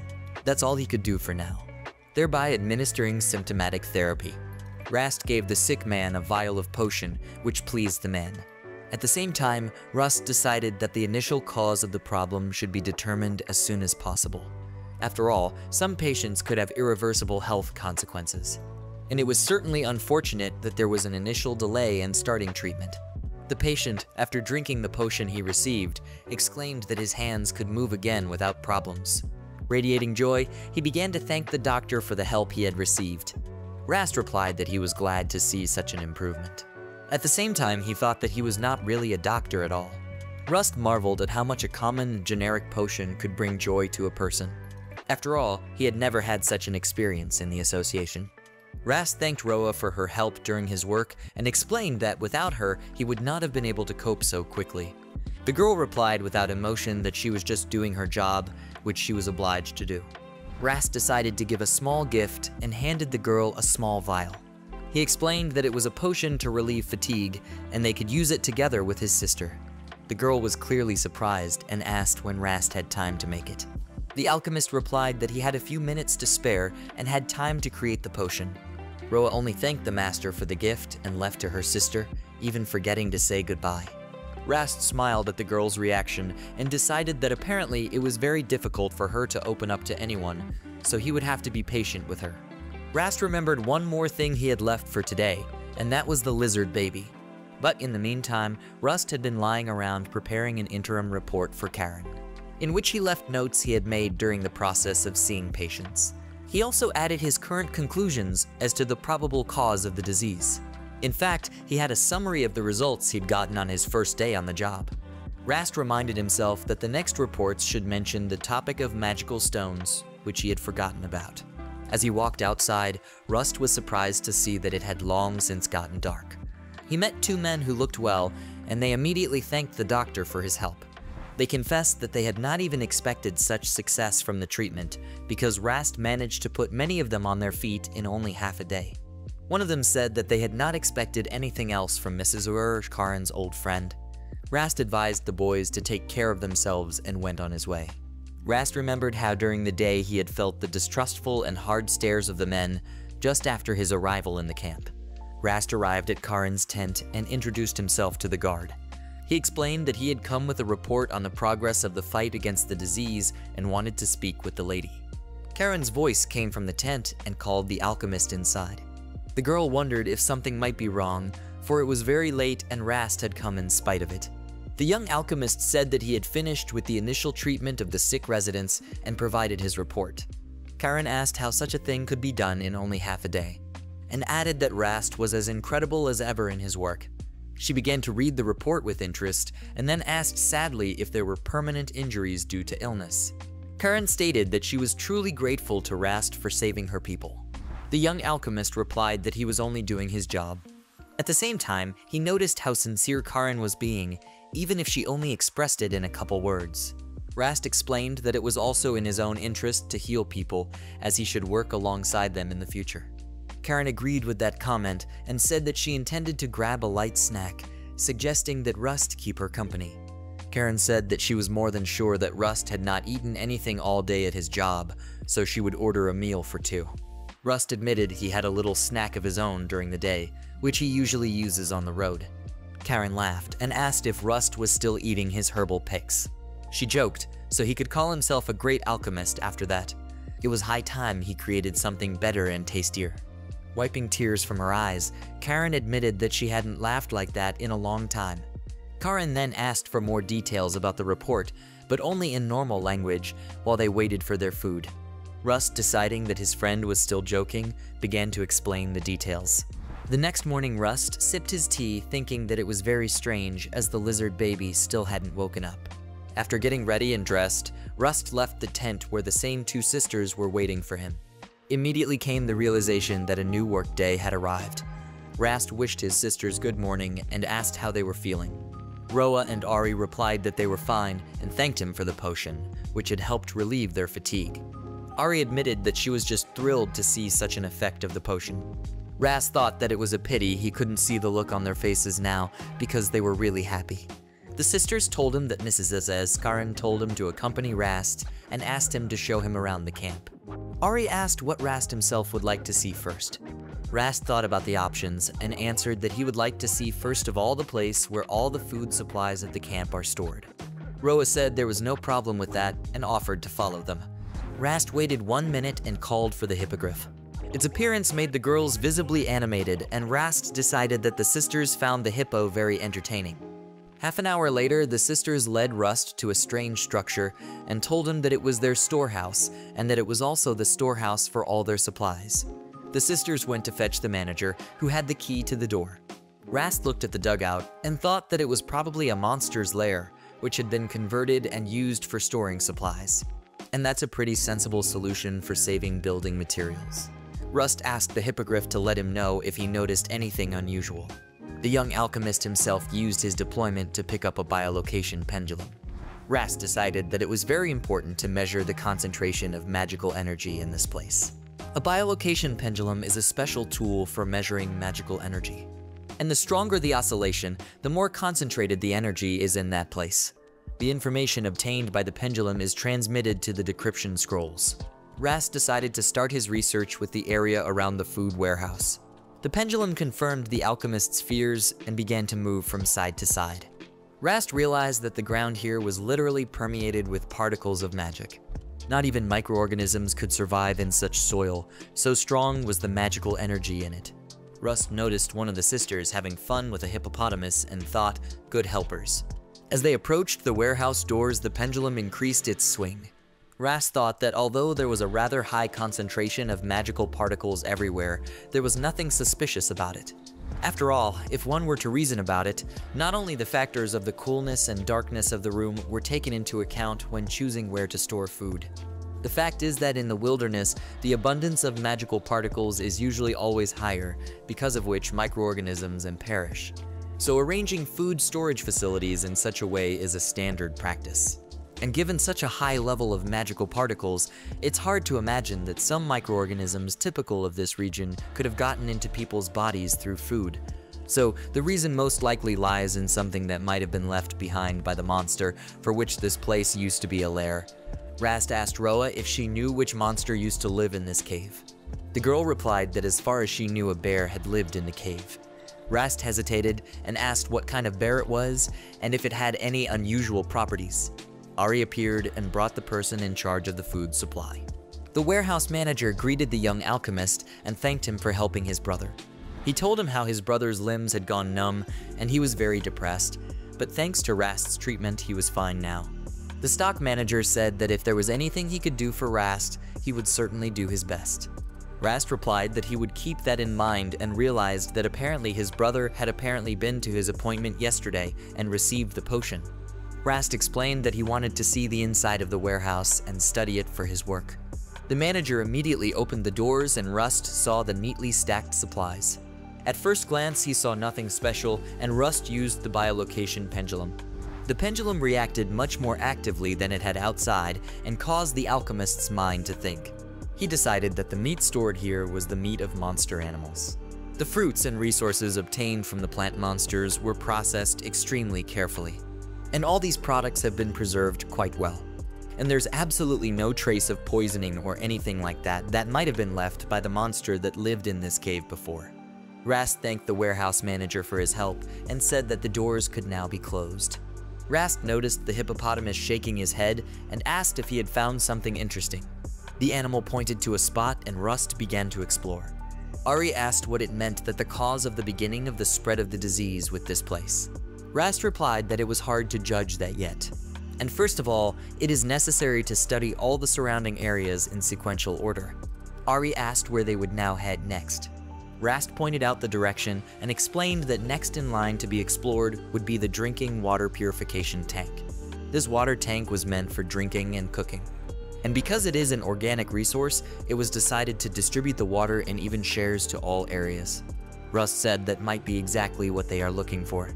He thought the tank looked like some sort of outdated magical tool. However, it did a good job of purifying the water, and at a glance there didn't seem to be any problems with any of the component parts of the device. And the numbness of the limbs could be caused by some poisonous substances that had gotten into the body with water or food, so Rast decided to check the food supplies first. But from the looks of it, this was not going to be an easy mystery to solve. Rast stood there in utter bewilderment, and Ari suggested that he stop for lunch. For a moment, Rast realized that the girl was getting too close. He smiled as he realized how she had startled him so ridiculously and replied that a snack would be nice. Though in doing so, the alchemist thought it was still rather unusual to receive a dinner invitation from these two mysterious girls. Rast guessed the reason for their concern and asked if Mistress Karin had told them to take care of his meals while accompanying him. The girls froze in surprise, amusing Rast. So he asked them not to worry and explained that he could look after himself quite well. The alchemist was reminded of his youthful memories and had a picture in his mind's eye of how the very young Karin used to make him eat all the time, even while he was working. Rast said that he was happy to listen to his sisters and would be happy to have lunch with them. The girls visibly calmed down after the awkward moment and suggested we head to the camp dining hall. Rast left the choice of food to the two sisters and immediately sat down at a table. Ari and Roa argued a bit about who was in charge and went to the table together. Rast didn't forget about his faithful hippogriff because he needed to eat too. The young alchemist generously poured crushed magic stones into a plate and invited the hippo to start eating. Hippopotamuses could only eat such food in certain quantities, as beasts created by alchemy could suffer if they consumed too much or too little magic particles. The hippopotamus began to slurp, its drool flying far and wide. Rast had always loved to watch this cute beast pounce on food. This was what he was caught doing by his sisters, who informed him that they had gotten some food. The main item on the menu was a dish that was made from heavily pulverized grains. It was excellent for nourishing a person and was good for storing. The side dish was made from fried edible parts of local monster plants with oil. The oil was also obtained from monsters, and the whole thing was generously dusted with seasonings. There was also smoked meat of monsters that were hunted during outings. It was smoked to increase its shelf life by using Kajero wood shavings, which added a spicy taste and a special flavor. Although this menu is quite simple, the chef's ingenuity is quite evident. Rast appreciated the quality of the cooking and decided that he could quite enjoy his meal even in such a modest dining room. Rast asked if all the people living in the camp ate in this dining hall. Ari explained that it was mostly single people who ate in the dining hall, and those with families preferred to cook at home with their families. Rast noticed that it reminded him a lot of the university cafeteria. Rast took out a scroll and began to read. He had the feeling that both sisters were staring at him intensely, even through the bandages on their faces, as if they had something important to say. Rast asked both of them at once if they had noticed any similarities between those who had fallen ill and if they knew anyone who had gotten sick today. Ari advised the alchemist not to think about work at least while eating and to get some rest. Roa answered for the two that they hadn't heard of any new cases of illness today. As for the similarities, they hadn't noticed anything unusual or highly conspicuous. Rast thanked them for the information and noticed Roa thinking about something. She exclaimed that there were a lot of lonely people among the sick, Ari concurred with her sister's observation and added that those who fell ill were certainly not all lonely people, but there were indeed an order of magnitude more of them than family people. Roa clarified that only people from single tents were being brought in for checkups. Rast seized on the clue and decided that there was something suspicious about that. He asked if he had correctly understood that this dining hall catered to mostly single people. The girls answered in one voice that this was exactly the case. Forgetting about food, the young alchemist busied himself with deciphering and manifesting. Suddenly, he changed his face, and a flustered Ari asked what was wrong. Rast gestured for him to stay out of the way, and after a couple seconds, he exclaimed that he had found what he needed. Rast yelled for both sisters to stop eating immediately. Rast explained that this food, albeit a little, has monster poison in it. It affects the nervous system, which is why the symptoms are what they are. Rast thought for a moment and started looking for the right ingredient. Ari shouted to the entire dining room for everyone to stop eating and put their plates away as there could be poison in the food. Rast, meanwhile, finished looking for the right component and said that he had seen it before. He continued to ponder and became more and more alarmed by the sight of his sisters. Ari could not bear the torture of curiosity and asked if Master Rast had managed to find out anything. The young alchemist cheerfully replied that he had almost figured it out. Rast decided for himself that there was no problem with the water purification tank, and it was all about the other source of the problem. Rast went with his sisters to the kitchen. He was met by the woman who she said was in charge of the kitchen. In an agitated voice, she inquired if there was something wrong with the food prepared in her kitchen. Rast apologized for disturbing her and for pulling her away. The young alchemist explained that he was dealing with the issue of an aggravation of a local disease at the behest of Mistress Karin. Rast asked permission to take a tour of the kitchen as he was curious about something. Once in the kitchen, Rast carefully inspected the surroundings and realized that here was just the expected readings. Rast asked Roa to deliver his message to Miss Karin as soon as possible. The kitchen mistress was also asked by Rast to help him with some business. After the mystery, Rast suggested that they meet in an hour at Mistress Karin's tent and promised to explain everything there. An hour later, as planned, the kitchen mistress and the person in charge of the lonely people's tents were at Karin's tent, in addition to Karin and her sisters. Karin immediately asked what Rast meant by the message that the disease had been completely resolved. Rast replied that he was ready to begin the story by explaining the cause of the disease. Rast said that there was a pond upstream from the camp and that there was a monster whose venom affected the nervous system. Karin agreed that the camp of course uses the water that comes from this pond, but do not forget that the water storage tank is engaged in purification. And while it may not be the most advanced, it could handle neutralizing a simple poisonous substance quite well. Rast agrees and confirms that the tank does a good job of purifying water, so the crux of the problem is completely beside the point. Karin asked what then is the problem. Rast stated that it is not the treated drinking water that is the problem, but the water that is used for domestic use, washing dishes, and doing laundry. Karin responded that who would have thought. Rast explained that as it turned out, the water for washing dishes and laundry was used directly from the river. Also, the alchemist said that he had inspected the loner's tent not too long ago and on the dishes and clothes of that man were traces of the same poisonous substance that affected the nervous system of the patients. And that's how the poison accumulated in the body little by little, gradually penetrating through the skin and also through the mouth when eating. Ari said that now it was clear why there were so many sick people among the loners who mostly ate in the common dining room. The kitchen hostess was annoyed and said that she was very sorry because she had not even helped to imagine that this would happen. The person in charge of the singles tents admitted his guilt and expressed his willingness to accept full responsibility for the consequences. Karin replied that there was no need to do so. After all, the water being treated in the tank is strictly rationed, and the one who made that decision was herself. And no one else can be held responsible for it but her. Karin said that since they now know the full extent of the problem, they need to revise the water regulations for all sites and they also need to deal with the source of the contamination, that monster that lives in the pond upstream of the river. Rast cheerfully stated that he had already dealt with that problem when he rescued a baby white jasper. Catching the surprised looks, Rast explained that he was misunderstood and it was an accident, and the monster had actually been killed by a hippopotamus.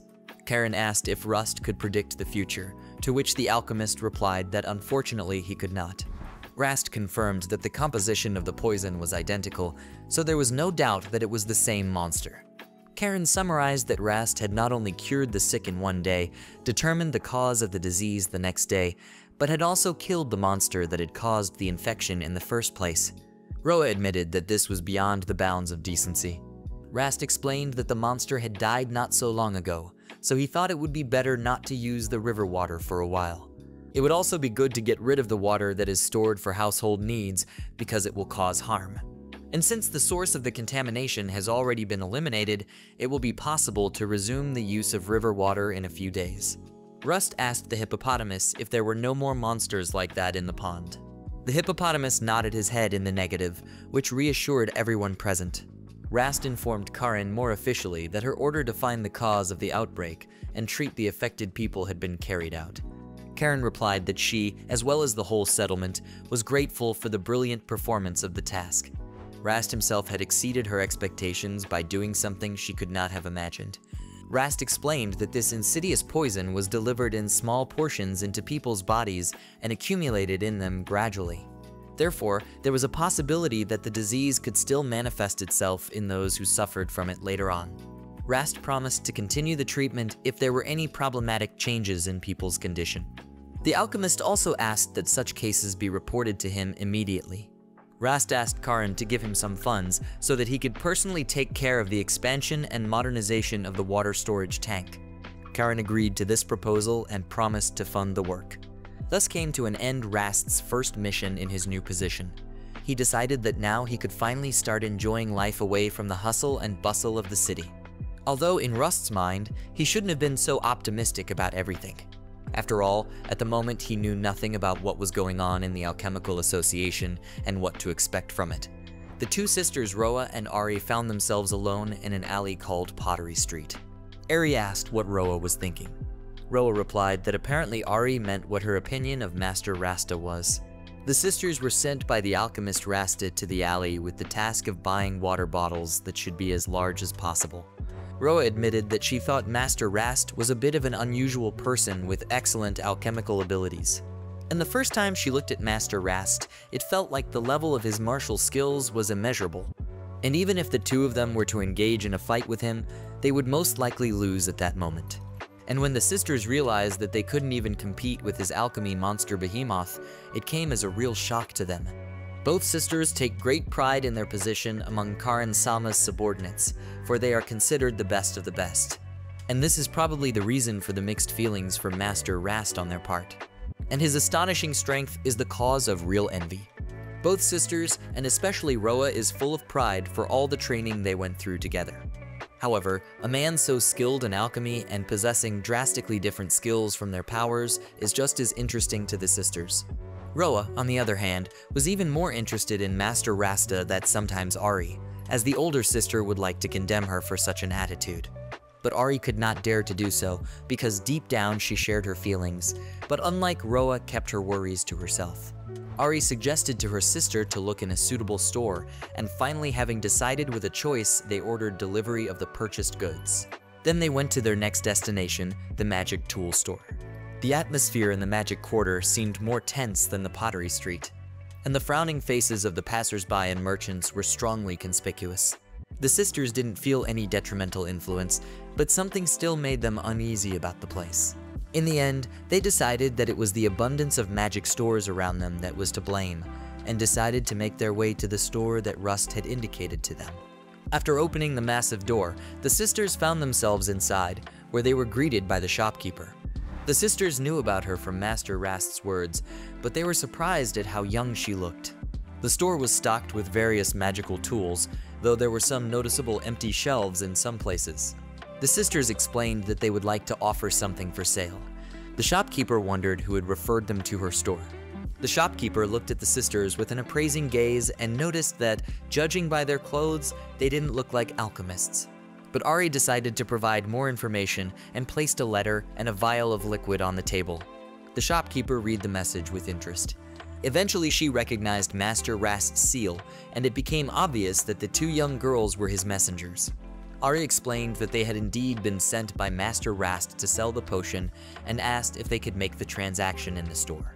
The proprietress said yes and stated that high quality potions themselves were very rare these days. And besides, the potions prepared by Mr. Rast are always of excellent quality. Therefore, she would gladly buy this vial. The shopkeeper said that she had one comment and pointed out that the letter from Master Rast said that the potion should be sold at a set price. Ari asked if the shopkeeper was not happy with the set price, since it was Master Rast's own instruction. The hostess replied that it was not like that at all, but rather the opposite. She pointed out that the prices of alchemical goods were constantly rising. All of this is because of some problems with the delivery of goods from the Alchemists Association. And that's why such potions would cost many times more now. The sisters were surprised at the openness and honesty of the shopkeeper and understood why Master Rast vouched for her and said he trusted her. Ari replied that there was nothing wrong with the difference in price and that they would be satisfied with the regular price. The mistress did not want to get into any more arguments about the price and promised to have the money ready. Soon the hostess gave the sisters an impressive sack of money, which they were surprised to see. They couldn't believe that such a huge amount of money was only for the price. It was to be expected from Master Rasta though, as his goods were well priced. Ari reminded her sister that she had been told to use the money for travel expenses. Then she offered Roa something tasty to eat. The girls went to the nearest establishment and started eating. The event that had led them to this assignment had happened only a day earlier, or rather a little more. Before Rastasan arrived, Miss Karin had invited several healers to the camp. But in the end, all of those people gave up before they could deal with the illness. In addition, those of them who were afraid of catching it themselves simply fled due to fear. And it was probably to the credit of those first healers who had spread the rumor of the incurable disease. The Healers Guild continued to reject Miss Karin's requests, which threatened to cause even more trouble. And then, as if by magic, Master Rast appeared in the camp. They, the loyal servants, acted as Mistress Karin had commanded, on her orders, they divided the sick campers among themselves and took them to Master Rast for examination. Some of the people could no longer move freely because of numb limbs, and some of them were foggy with fever. And always, when they brought a new patient to the tent, the previous one came out of it fresh and completely healthy. Master Rast managed to treat the disease almost in the blink of an eye, and even identified the true cause of the disease. And in addition, he had also killed the monster that was the cause of the disease. It was clear that Master Rast was special, even among alchemists. Ari had the courage to tell her sister that they could ask Master Rast for help with their eyes. When Roa heard such a suggestion, she immediately stopped eating. And then, after a short thought, both sisters looked at each other intently and nodded silently, expressing their general agreement. The blacksmith alchemist Liharzam was in a foul mood and came to the Alchemical Association's special equipment storehouse. Looking through the shelves, he resented why he was the one who had to deal with all of this. Liharzam resented that it was all because of Rast. After all, that foolish boy was not at all grateful to the Alchemist Association. For some inexplicable reason, the entire Alchemists Association had too many problems lately. And all the Master Alchemists had to leave their jobs to deal with them. A lot of things in this vault were more than just dangerous and needed especially reverent handling. Some of the monster's materials could even be undermined without proper care in handling them. It used to be handled by a specialist, which was Rast, but the department he worked in was shut down due to budget cuts. And then there was no one to keep track of all this hazardous material. And gradually, one problem after another began to emerge. There was even an explosion of the dense slime liquids of the scavengers. Liharzam tried to enter one of the doors, but was unable to do so, as the entrance was restricted due to the presence of Class 1 threat materials, which can only be handled by those with the rank of Master. If not for this strict rule, Liharzam could have sent his assistants to do the job instead of himself. Tortake informed the angry blacksmith alchemist that the head of the Armor Association was urgently calling for him and shouted heavily. Liharzam bellowed that he wasn't expecting good news. He also ordered Tortake that when someone of master rank returned, he should tell him to finish up here in the warehouse with everything. Tortake reminded him that he was only a novice and could not tell the masters where to clean up. And there was no telling when any of the masters might return. But Liharzam did not answer anything and went down the corridor, spreading a foul stench. Tortake noticed that the door was negligently left unlocked and hurried to close it before the magical elements penetrated into the warehouse. But this was not possible for the novice alchemist, as a master rank medallion was needed to seal the door. Without thinking of anything, Tortake decided to just stand at the entrance to the association and wait for one of the masters. The warehouse, however, remained open, and the magical particles gradually began their destructive process. The vice president of the Armament Association, Gan, was beyond furious. He shouted, trying to figure out how much longer he had to wait since they had missed all the deadlines. The aide tried to explain to you that the whole problem was that the bulk of the needed materials for the conversion were being delayed. But Vice President Gan yelled that he had already heard all this. Gan said that everything about the deadline down to the second is spelled out in the contract. And all the equipment and materials should have already been delivered to the army so that it would be ready for the next war. Gan added that they should not rely on the fact that all this would be a simple fine because it was a very serious problem. The vice president asked where is Liharzam now, after all he had called him long ago. A few minutes later, Liharzam appeared and apologized for his tardiness. The stench from him hit his nose sharply, which made the vice president even more angry. Gan demanded that. Liharzam not to come any closer to him.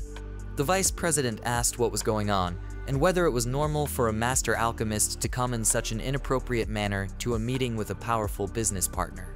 Liharzam began to realize that it was because of the scavenger slime he was cleaning up. And he was in such a hurry that he hadn't even noticed the bad odor, or had gotten used to it while he was in the warehouse. Gan wondered if the alchemist blacksmith had decided to mess with him. The insults were not the simplest and Liharzam was quite disappointed in today. He apologized for his transgression and promised to change his clothes immediately. But the vice president said he would not waste any more time waiting and asked when Li Liharzam would deliver what he had promised. The cunning blacksmith couldn't remember what it was all about and transferred the question to Sabis, who in turn was having a choking attack from the stench. Without waiting for an answer, Liharzam told the vice president that everything would be done by tomorrow. Gan immediately advised the blacksmith alchemist not to forget his words. The staff of the weapon alchemy department were shocked at such a promise from Liharzam for it was impossible to fulfill the order by tomorrow. Liharzam gathered all the employees and even those who were on vacation. He reminded them that their department must provide the magical circuits that change attributes into association. Sabas confirmed that this is exactly what they promised to fulfill on time, to provide the schematics that change the magical elements to fire elements. And apparently this is needed to create firearms for the army. Liharzam asked what the problem was then, since they were late on the order, since there was no problem with this before. Sabas replied that the department was having problems with the lack of distilled water and especially with the quality of the water, which had deteriorated a lot recently. Liharzam took umbrage and reminded him that distilled water was a basic element that a creator and even an apprentice should be able to create. Tortake provided a magic circuit and a device to test the operation of magic circuits and explained that this board was made from distilled water from production. Liharzam said he saw no problem and decided to check it out himself.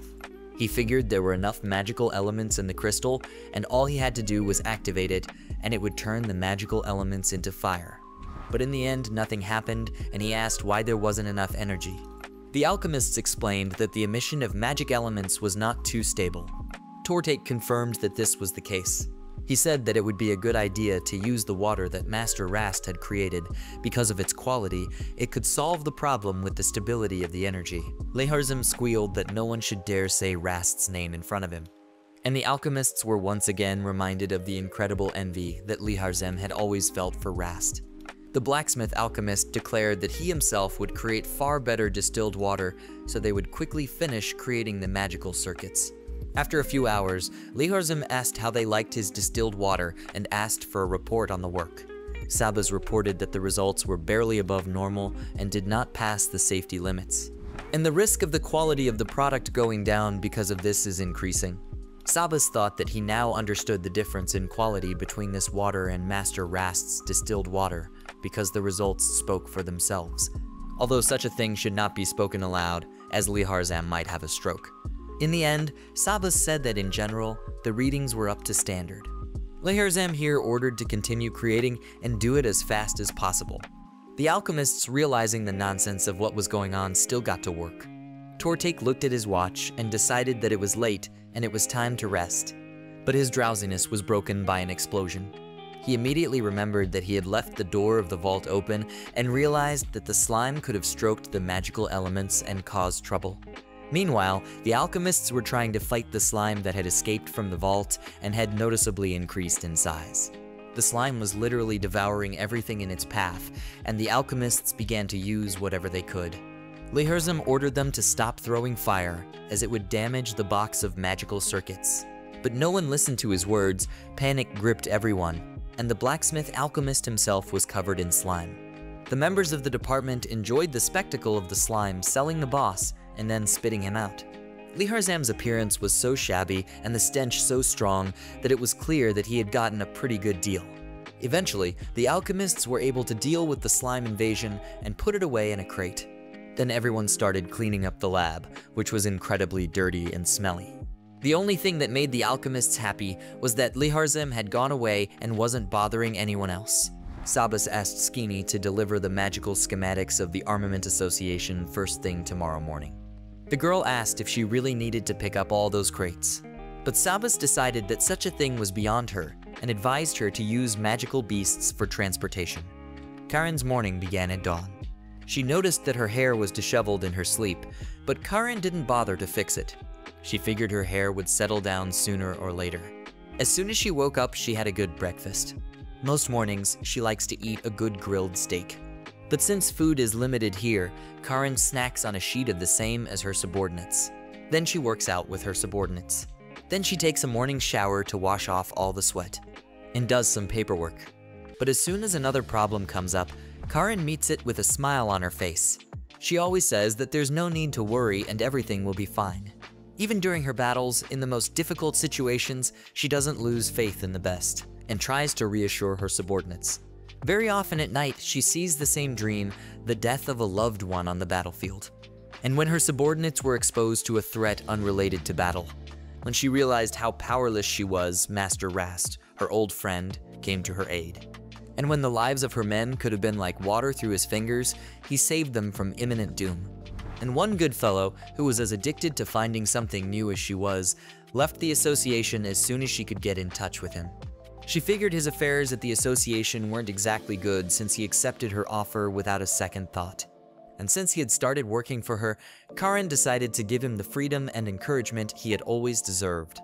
Karin asked where Rast had decided to go so soon. The young alchemist explained that he had been busy the last few days, so he wanted to go get some materials and take a walk. Karin asked Rast to be careful not to stay out too long.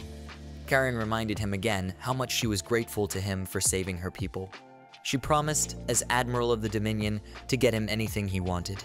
Rast was surprised at the suddenness of the words, but didn't think much of it.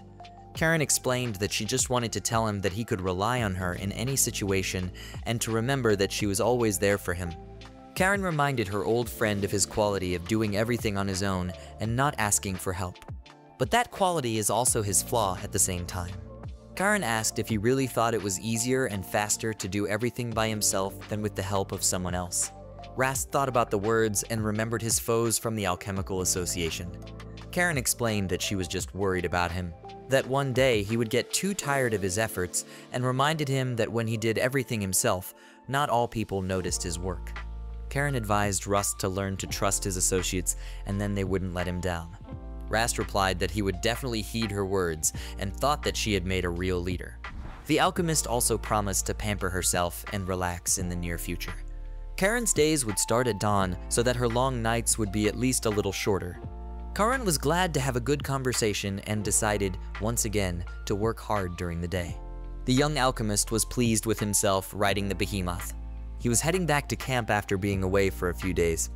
Karin had budgeted for water storage problems, and now he had all the materials he needed. Rast decided that now they could get down to business as soon as they got the water jugs Rast was happy, as he was even able to catch a few monsters besides the one he had originally targeted. He praised himself for his foresight as he had brought extra scrolls for the different monsters. Since using a scroll that didn't suit a certain kind of monster could damage the materials and ruin their effectiveness. Hearing a familiar noise in the distance young, the alchemist said that they were almost at the camp already. The locals greeted their savior cheerfully and began to ask how the hunt had gone and if he had hurt himself during the journey. Rast was happy to receive such a welcome, and felt how excited everyone was about the news of the possibility of increasing the local water supply. The people continued to greet Rast, and he decided to meet the man who was in charge of the water supply. Rast told Litna that he was just the man he wanted to talk to, and was glad he had found him so quickly. Rast said that when he was hunting monsters, he thought that the parts not suitable for alchemy might be edible, so he took them with him, and they might help increase the settlement's water supply. Litna thanked Rast for his help and promised to buy them. Rast explained that he had already gotten the materials he needed from them and had not processed them much more. Litna replied that there was no problem with that. Rast took the materials to the monster cutting area where many people had already gathered. The young alchemist was surprised at how curious the locals could be. Everyone wanted to see the monsters as soon as possible and tried to hurry Rast up. The young alchemist didn't bother people for a long time and took out scrolls to summon the captured monsters. He asked if they liked the catch and were willing to buy it. The people were shocked by the rich catch, as they didn't expect to see four male, two-lined buffalo. Everyone began to discuss how the young alchemist had managed to overcome such dangerous beasts as they moved in groups. Immediately, they heard discussions about how much food could be made from the meat, and the rest would find a use. Litna exclaimed that these monsters were in perfect condition and immediately summoned two subordinates. Rast said that there were more big monsters and he would just keep taking them out. Next were the Hell Horse, a horse-type monster with three heads. Its meat went great with cheese, and its skin was prized as a great material for clothing. Also featured was the Mole Bear, whose rarity was rated at 6 stars. Its internal organs were widely used for medical purposes, and its fur was used to make expensive jewelry. Next, Rast brought out a thousand rats of various sizes. Although they required care when cutting them up, due to their poisonous parts, their meat tasted wonderful. Litna, not expecting such a huge number of trophies, said that they were too many. Rast thought that he could have caught more if he had brought more scrolls with him. The monster splitter admitted that he hadn't even seen some of them, and was somehow even frozen by the amount of work to be done. He said that Rast had defeated a whole bunch of incredibly dangerous monsters and had done it alone, so he would like to fight him one day to experience real strength and test himself. The young alchemist was pleased to see such an appreciation of his abilities and said that he had to go. He asked to be informed when they finished evaluating the monsters and decided on the amount. Walking into his tent, Rast told his Rose that here he was back. He thanked her for taking care of the baby lizardman in his absence, giving him potions, and keeping an eye on his condition. Even though his condition hadn't changed, at least that meant he wasn't getting worse, which was a positive. Rast said that maintaining his condition is hard, because he can't even use the same magic element potions for him that he uses for humans. Since monsters can die from an excess of magic elements, and if there aren't enough magic elements to kill the monster, then in that case, the monster might just become insane. They need to be controlled for a long time, and since Alchemy Rose is very meticulous, he can completely rely on her during such hard times. Rast asked Rose to continue treating the baby and praised him for his efforts. Soon, Rast learned of the return of the sisters who had delivered everything they needed from the city. The young alchemist thanked them for their help and told them that the jars they had bought were really good. Ari replied that there was no problem with the purchase of the jugs and everything went smoothly. Rast inspected the jugs and made sure they were new, never finding any cracks or scuffs. Rast thought the idea of sending his sisters shopping was a good one, as they could quietly prevent all problems with power in their eyes. Ari said that they had noticed the tense atmosphere in the capital. Some goods had become much more expensive. Rast immediately asked how Mrs. Desiskaran felt about it, but Ari replied that they immediately informed her about the problems with prices and goods. Rast thought it was good that Karin was aware of it, and for some reason remembered Liharzam, who in turn sneezed somewhere very far away. Rast dismissed his anxious thoughts and decided that now that all the ingredients were ready, he should install the water purification system. And to begin with, take the first couple steps. Rast thought it should be an easy transformation and began the activation process, followed by the purification. Rast said it would be easy with the hardness of diamond dust set to maximum and at the command of his hands, the mini tornado sparkled with brilliant particles. Next, the young alchemist added crystal clear water, as it was necessary to release magical energy, keeping the water pure. Crystal clear water obeys the laws of physics, and the solution begins to increase its entropy, which has been reduced to zero, thereby dissolving the nearest particles and powder from the magic stone. Rast exclaimed that everything was ready and demonstrated the ink for writing magical diagrams. Ari, who was watching the process, said it was incredible. Rast noticed how interested Ari was in his work and proceeded to free himself from the constraints of gravity in order to solve the magical circuitry. Rast then set about finding the right page to purify the water. Finding what was needed, the young alchemist began the deciphering process, and soon the magical water purification diagram was ready to be read. The young alchemist, with the help of the created design and the magic solution, was able to fix and make the magic circuit part of a huge jug. Rast, pleased with himself, said that now he needed to insert the magic crystal for power and everything would be ready. Once the crystal was fixed, Rast exclaimed that he would do the same with the other jug. The process was repeated and soon the jugs were ready. Surprised Ari asked if they could use the water now as much as they wanted. But Rast replied that this was just the beginning. He explained that at this stage, it is just a vessel for water. And he wants to make another magical item with which they won't even need to draw water themselves. Ari cried out in amazement that such a thing could be done, and then confessed that she wanted to see it, and Rast gladly invited her to come along. Once at the pond, Rast asked the hippo to check the water again for danger, and obediently, the animal rushed forward. Rast said he would make a magic item to draw water from the pond. The young alchemist decided to make the object out of a strong, water-resistant material. At the same time, it had to be coated with a composition with the odor of poison from the tentacles of the catfish to scare away other monsters. And also the magic stone of the unusual monster should be placed in the object. To the young alchemist's surprise, the hippopotamus pulled another dangerous monster out of the water and Rast thanked him for his help. Rast realized that the pond was finally being inhabited by other monsters, which was possible after the catfish monster disappeared. It was obvious from the reaction and prey of the hippo that all the new inhabitants of the pond are rather small creatures. Finishing with the creation of the special device, Rast said that there was only a little bit of patience left. Ari asked if he understood correctly that Rast was using an unusual monster stone. The young alchemist replied that it was a correct observation, and it was the reason he had to go hunting for such a monster. Rast told the curious girl had to go to the volcano itself.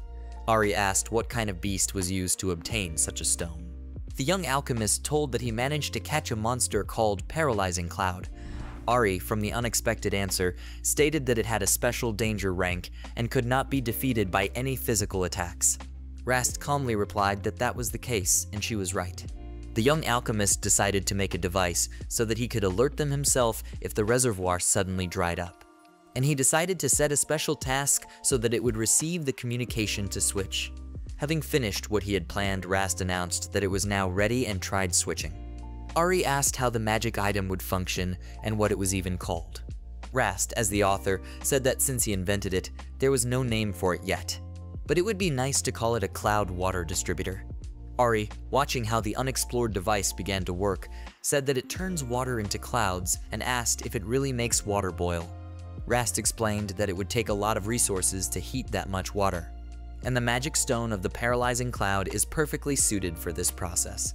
After all, Paralyzing Cloud is a cloud monster, and she has a magic crystal in her body. And to rewrite the laws of physics around it, the monster uses magic.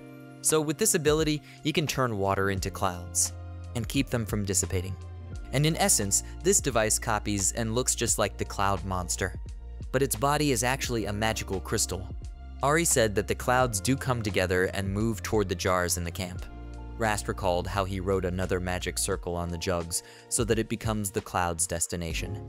And once the clouds reach their destination, the magic that changes the laws of physics is turned off and the clouds turn back into water. Ari marveled at this incredible way of transporting water and said she could hardly believe it. Rast said that of course any action is better than a thousand words and suggested the girl to try to dispel the clouds. Ari immediately used her spear to attack the slightly transparent clot, but it had no effect at all. Rast said that immunity to attacks is one of the advantages. After all, in these parts, monsters could destroy pipes if one tried to use normal water pipes and there wouldn't be enough strength to constantly drive away monsters throughout the entire pipe. The girl watched the process of bringing water to the camp with admiration, and Rast was glad she was so interested in it. Eventually, the young alchemist suggested going back to the camp to see how things were going there. Alchemy involves three basic techniques. The first is the manipulation of life itself, and its pinnacle is the transmutation of beasts. The second is the control of magical elements, which allows for the creation of various potions. And the third is affecting life with the elements, and it culminates in the creation of magical items. Alchemists who have mastered all three techniques become enlightened. Rast said it went well, and it looks like all the jars have been filled. Therefore, the work is over for the day. Ari said that Master Rast was called by Mistress Karin. The young alchemist wondered if something had happened while he was away from the camp and replied that he was going to Karin's immediately. Lady Karin apologized for disturbing Rast and offered him a look at the message. Rast took the papers and realized there were two communication parchments, one of which was still sealed. Karin admitted that she was surprised at how fast Rast could do things. After all, a normal alchemist would have spent at least a few days just working with the jars, and there was no telling how long it would take to purify the water. Rast explained that he needed a little more time to write the magical schematics, and then he could start testing the process. At the same time, he noticed that the letter itself was addressed specifically to Karin. Rast thought that there was nothing wrong with him reading her letter, since she had given him permission to do so. But under different circumstances, he would not have done so. What surprised the young alchemist was that the letter was from Tom's old age and it was unclear if the headman had been able to discuss the procedure for selling magic stones with his feudal lord. Karin said that she was surprised by the message, even though the headman had warned her earlier. Rast replied that he thought the terms were quite good. Karin exclaimed that the conditions were more than good, they were incredible. The girl sharply approached the alchemist and asked what the trick was. Rast asked to loosen his grip, for his clothes were already fraying at the seams. Karin apologized for the extra emotion and immediately loosened her grip. Rast was relieved to think that if she had pulled harder, she might have torn his head off. Karin thought that the offer was very favorable and it would cost her practically nothing, and the benefits promised to be good. Rast, however, remembered that he had already told her the whole point, and warned that most likely she would get a business offer for magic stones from a neighboring feudal lord. And later he had said again that the feudal lord might ask about trading magic stones.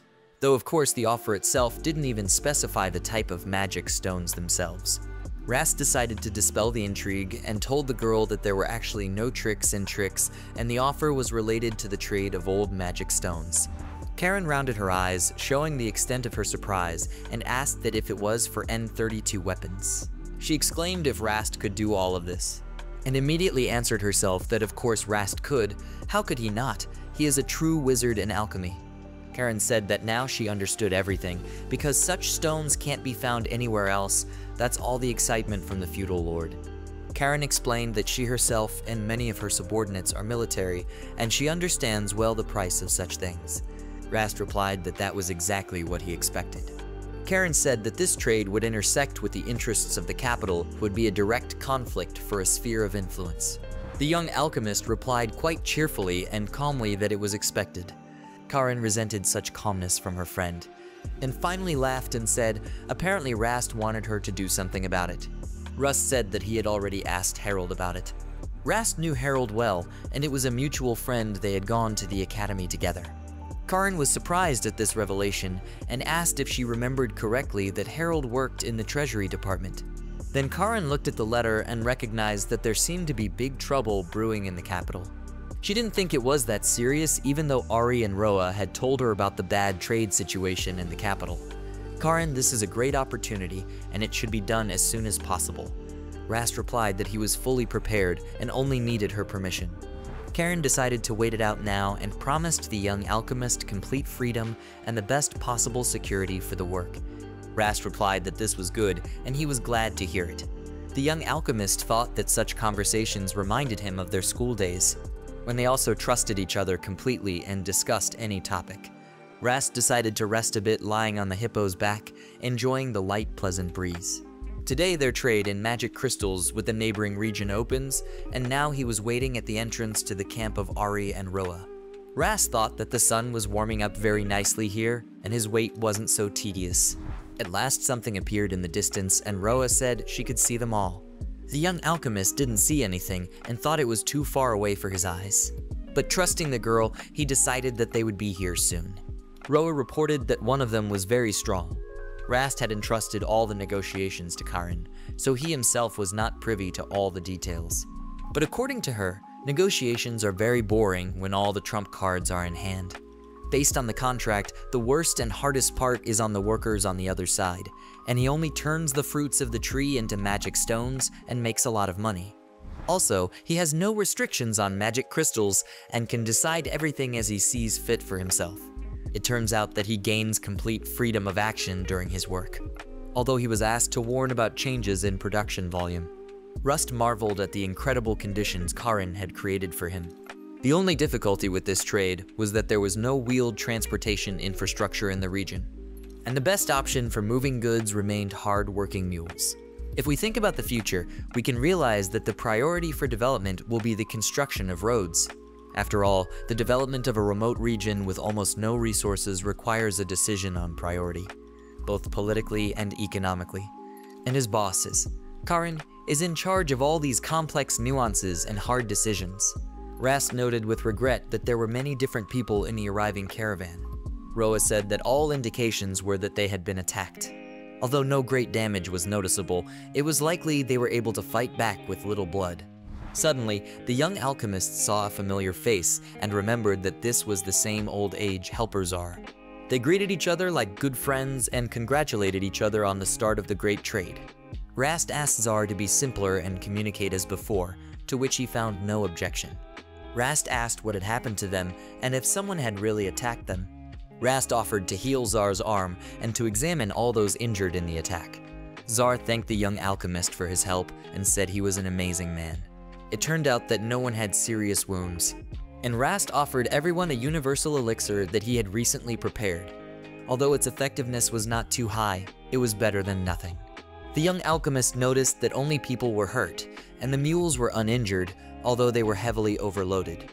Rast immediately realized that they had been forced to leave a certain number of mules behind and were overloading the cargo on the way. Suddenly, the familiar figure of a beautiful girl appeared among the people, who immediately headed towards the young alchemist. Rast immediately recognized her as the sacred knight and goddess of vengeance, Tora. Rast admitted that he had not expected to see her in these parts, and he immediately remembered how he had accidentally managed to rescue this beautiful priest knight. Rast was surprised, for Tora was not alone, but with a whole delegation.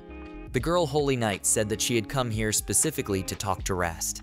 She happened to be passing by Tom's village and heard them going to this camp, so she asked to join the convoy. Zar added to the story and explained that Tora had saved them from a lot of trouble. Rast replied that this was what was expected of the beautiful Tora. Thus, the young alchemist met two good friends at once, and even the hippopotamus hastened to snuggle up to Tora out of joy, which frightened him. Rast exclaimed that he was welcome to the Borderlands, which always welcomed guests. The young alchemist realized that this was the beginning of a new chapter in the story of his life. Rast inquired how the girl Knight was doing. Tora replied that everything was fine and it was thanks only to him. Basis thanked for his rescue and reminded her that she would never forget his kindness. Rast said that he was the one who should thank her for guarding this caravan, since the resources they brought back were meant for him. Rast offered Tora in his tent and a cup of tea. It seemed to the young alchemist that the girl knight had something to say to him, but only that she wanted to do it in private. Tora replied that she gladly accepted the invitation and was ready to share the fragrant tea with Rast.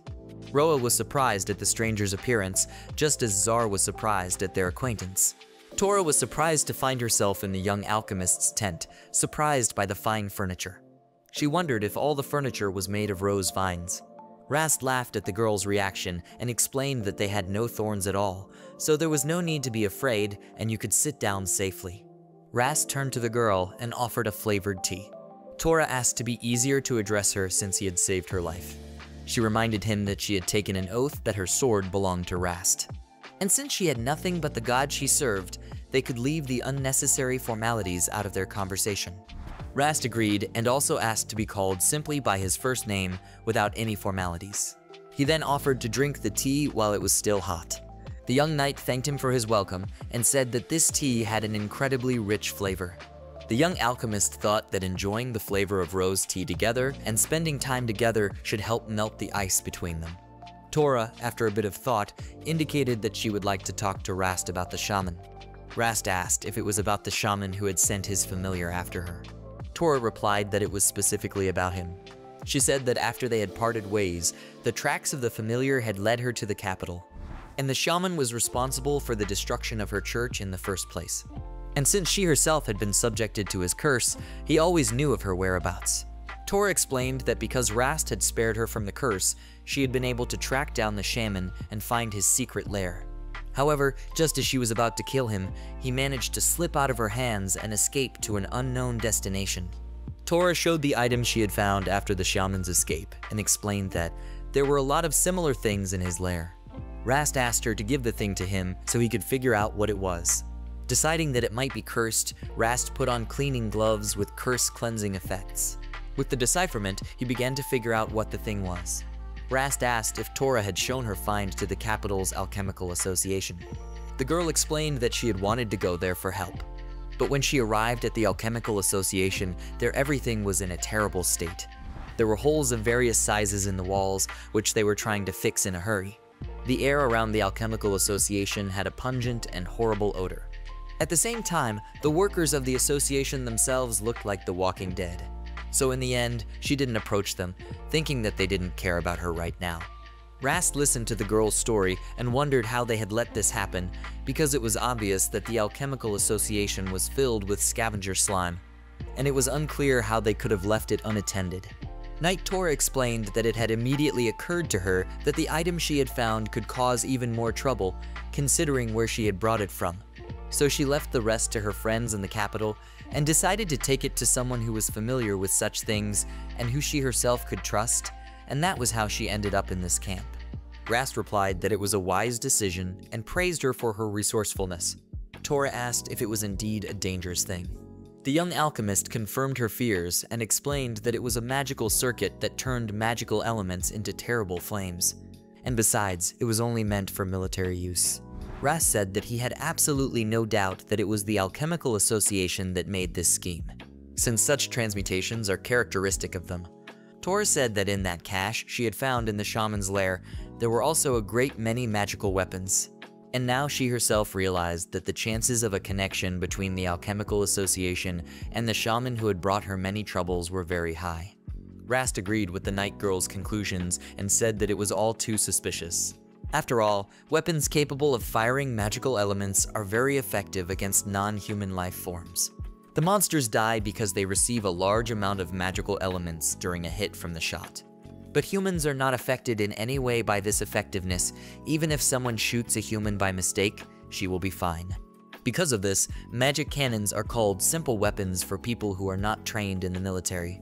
But converting the elements results in what is called conversion loss and there's no need to use something like that against monsters.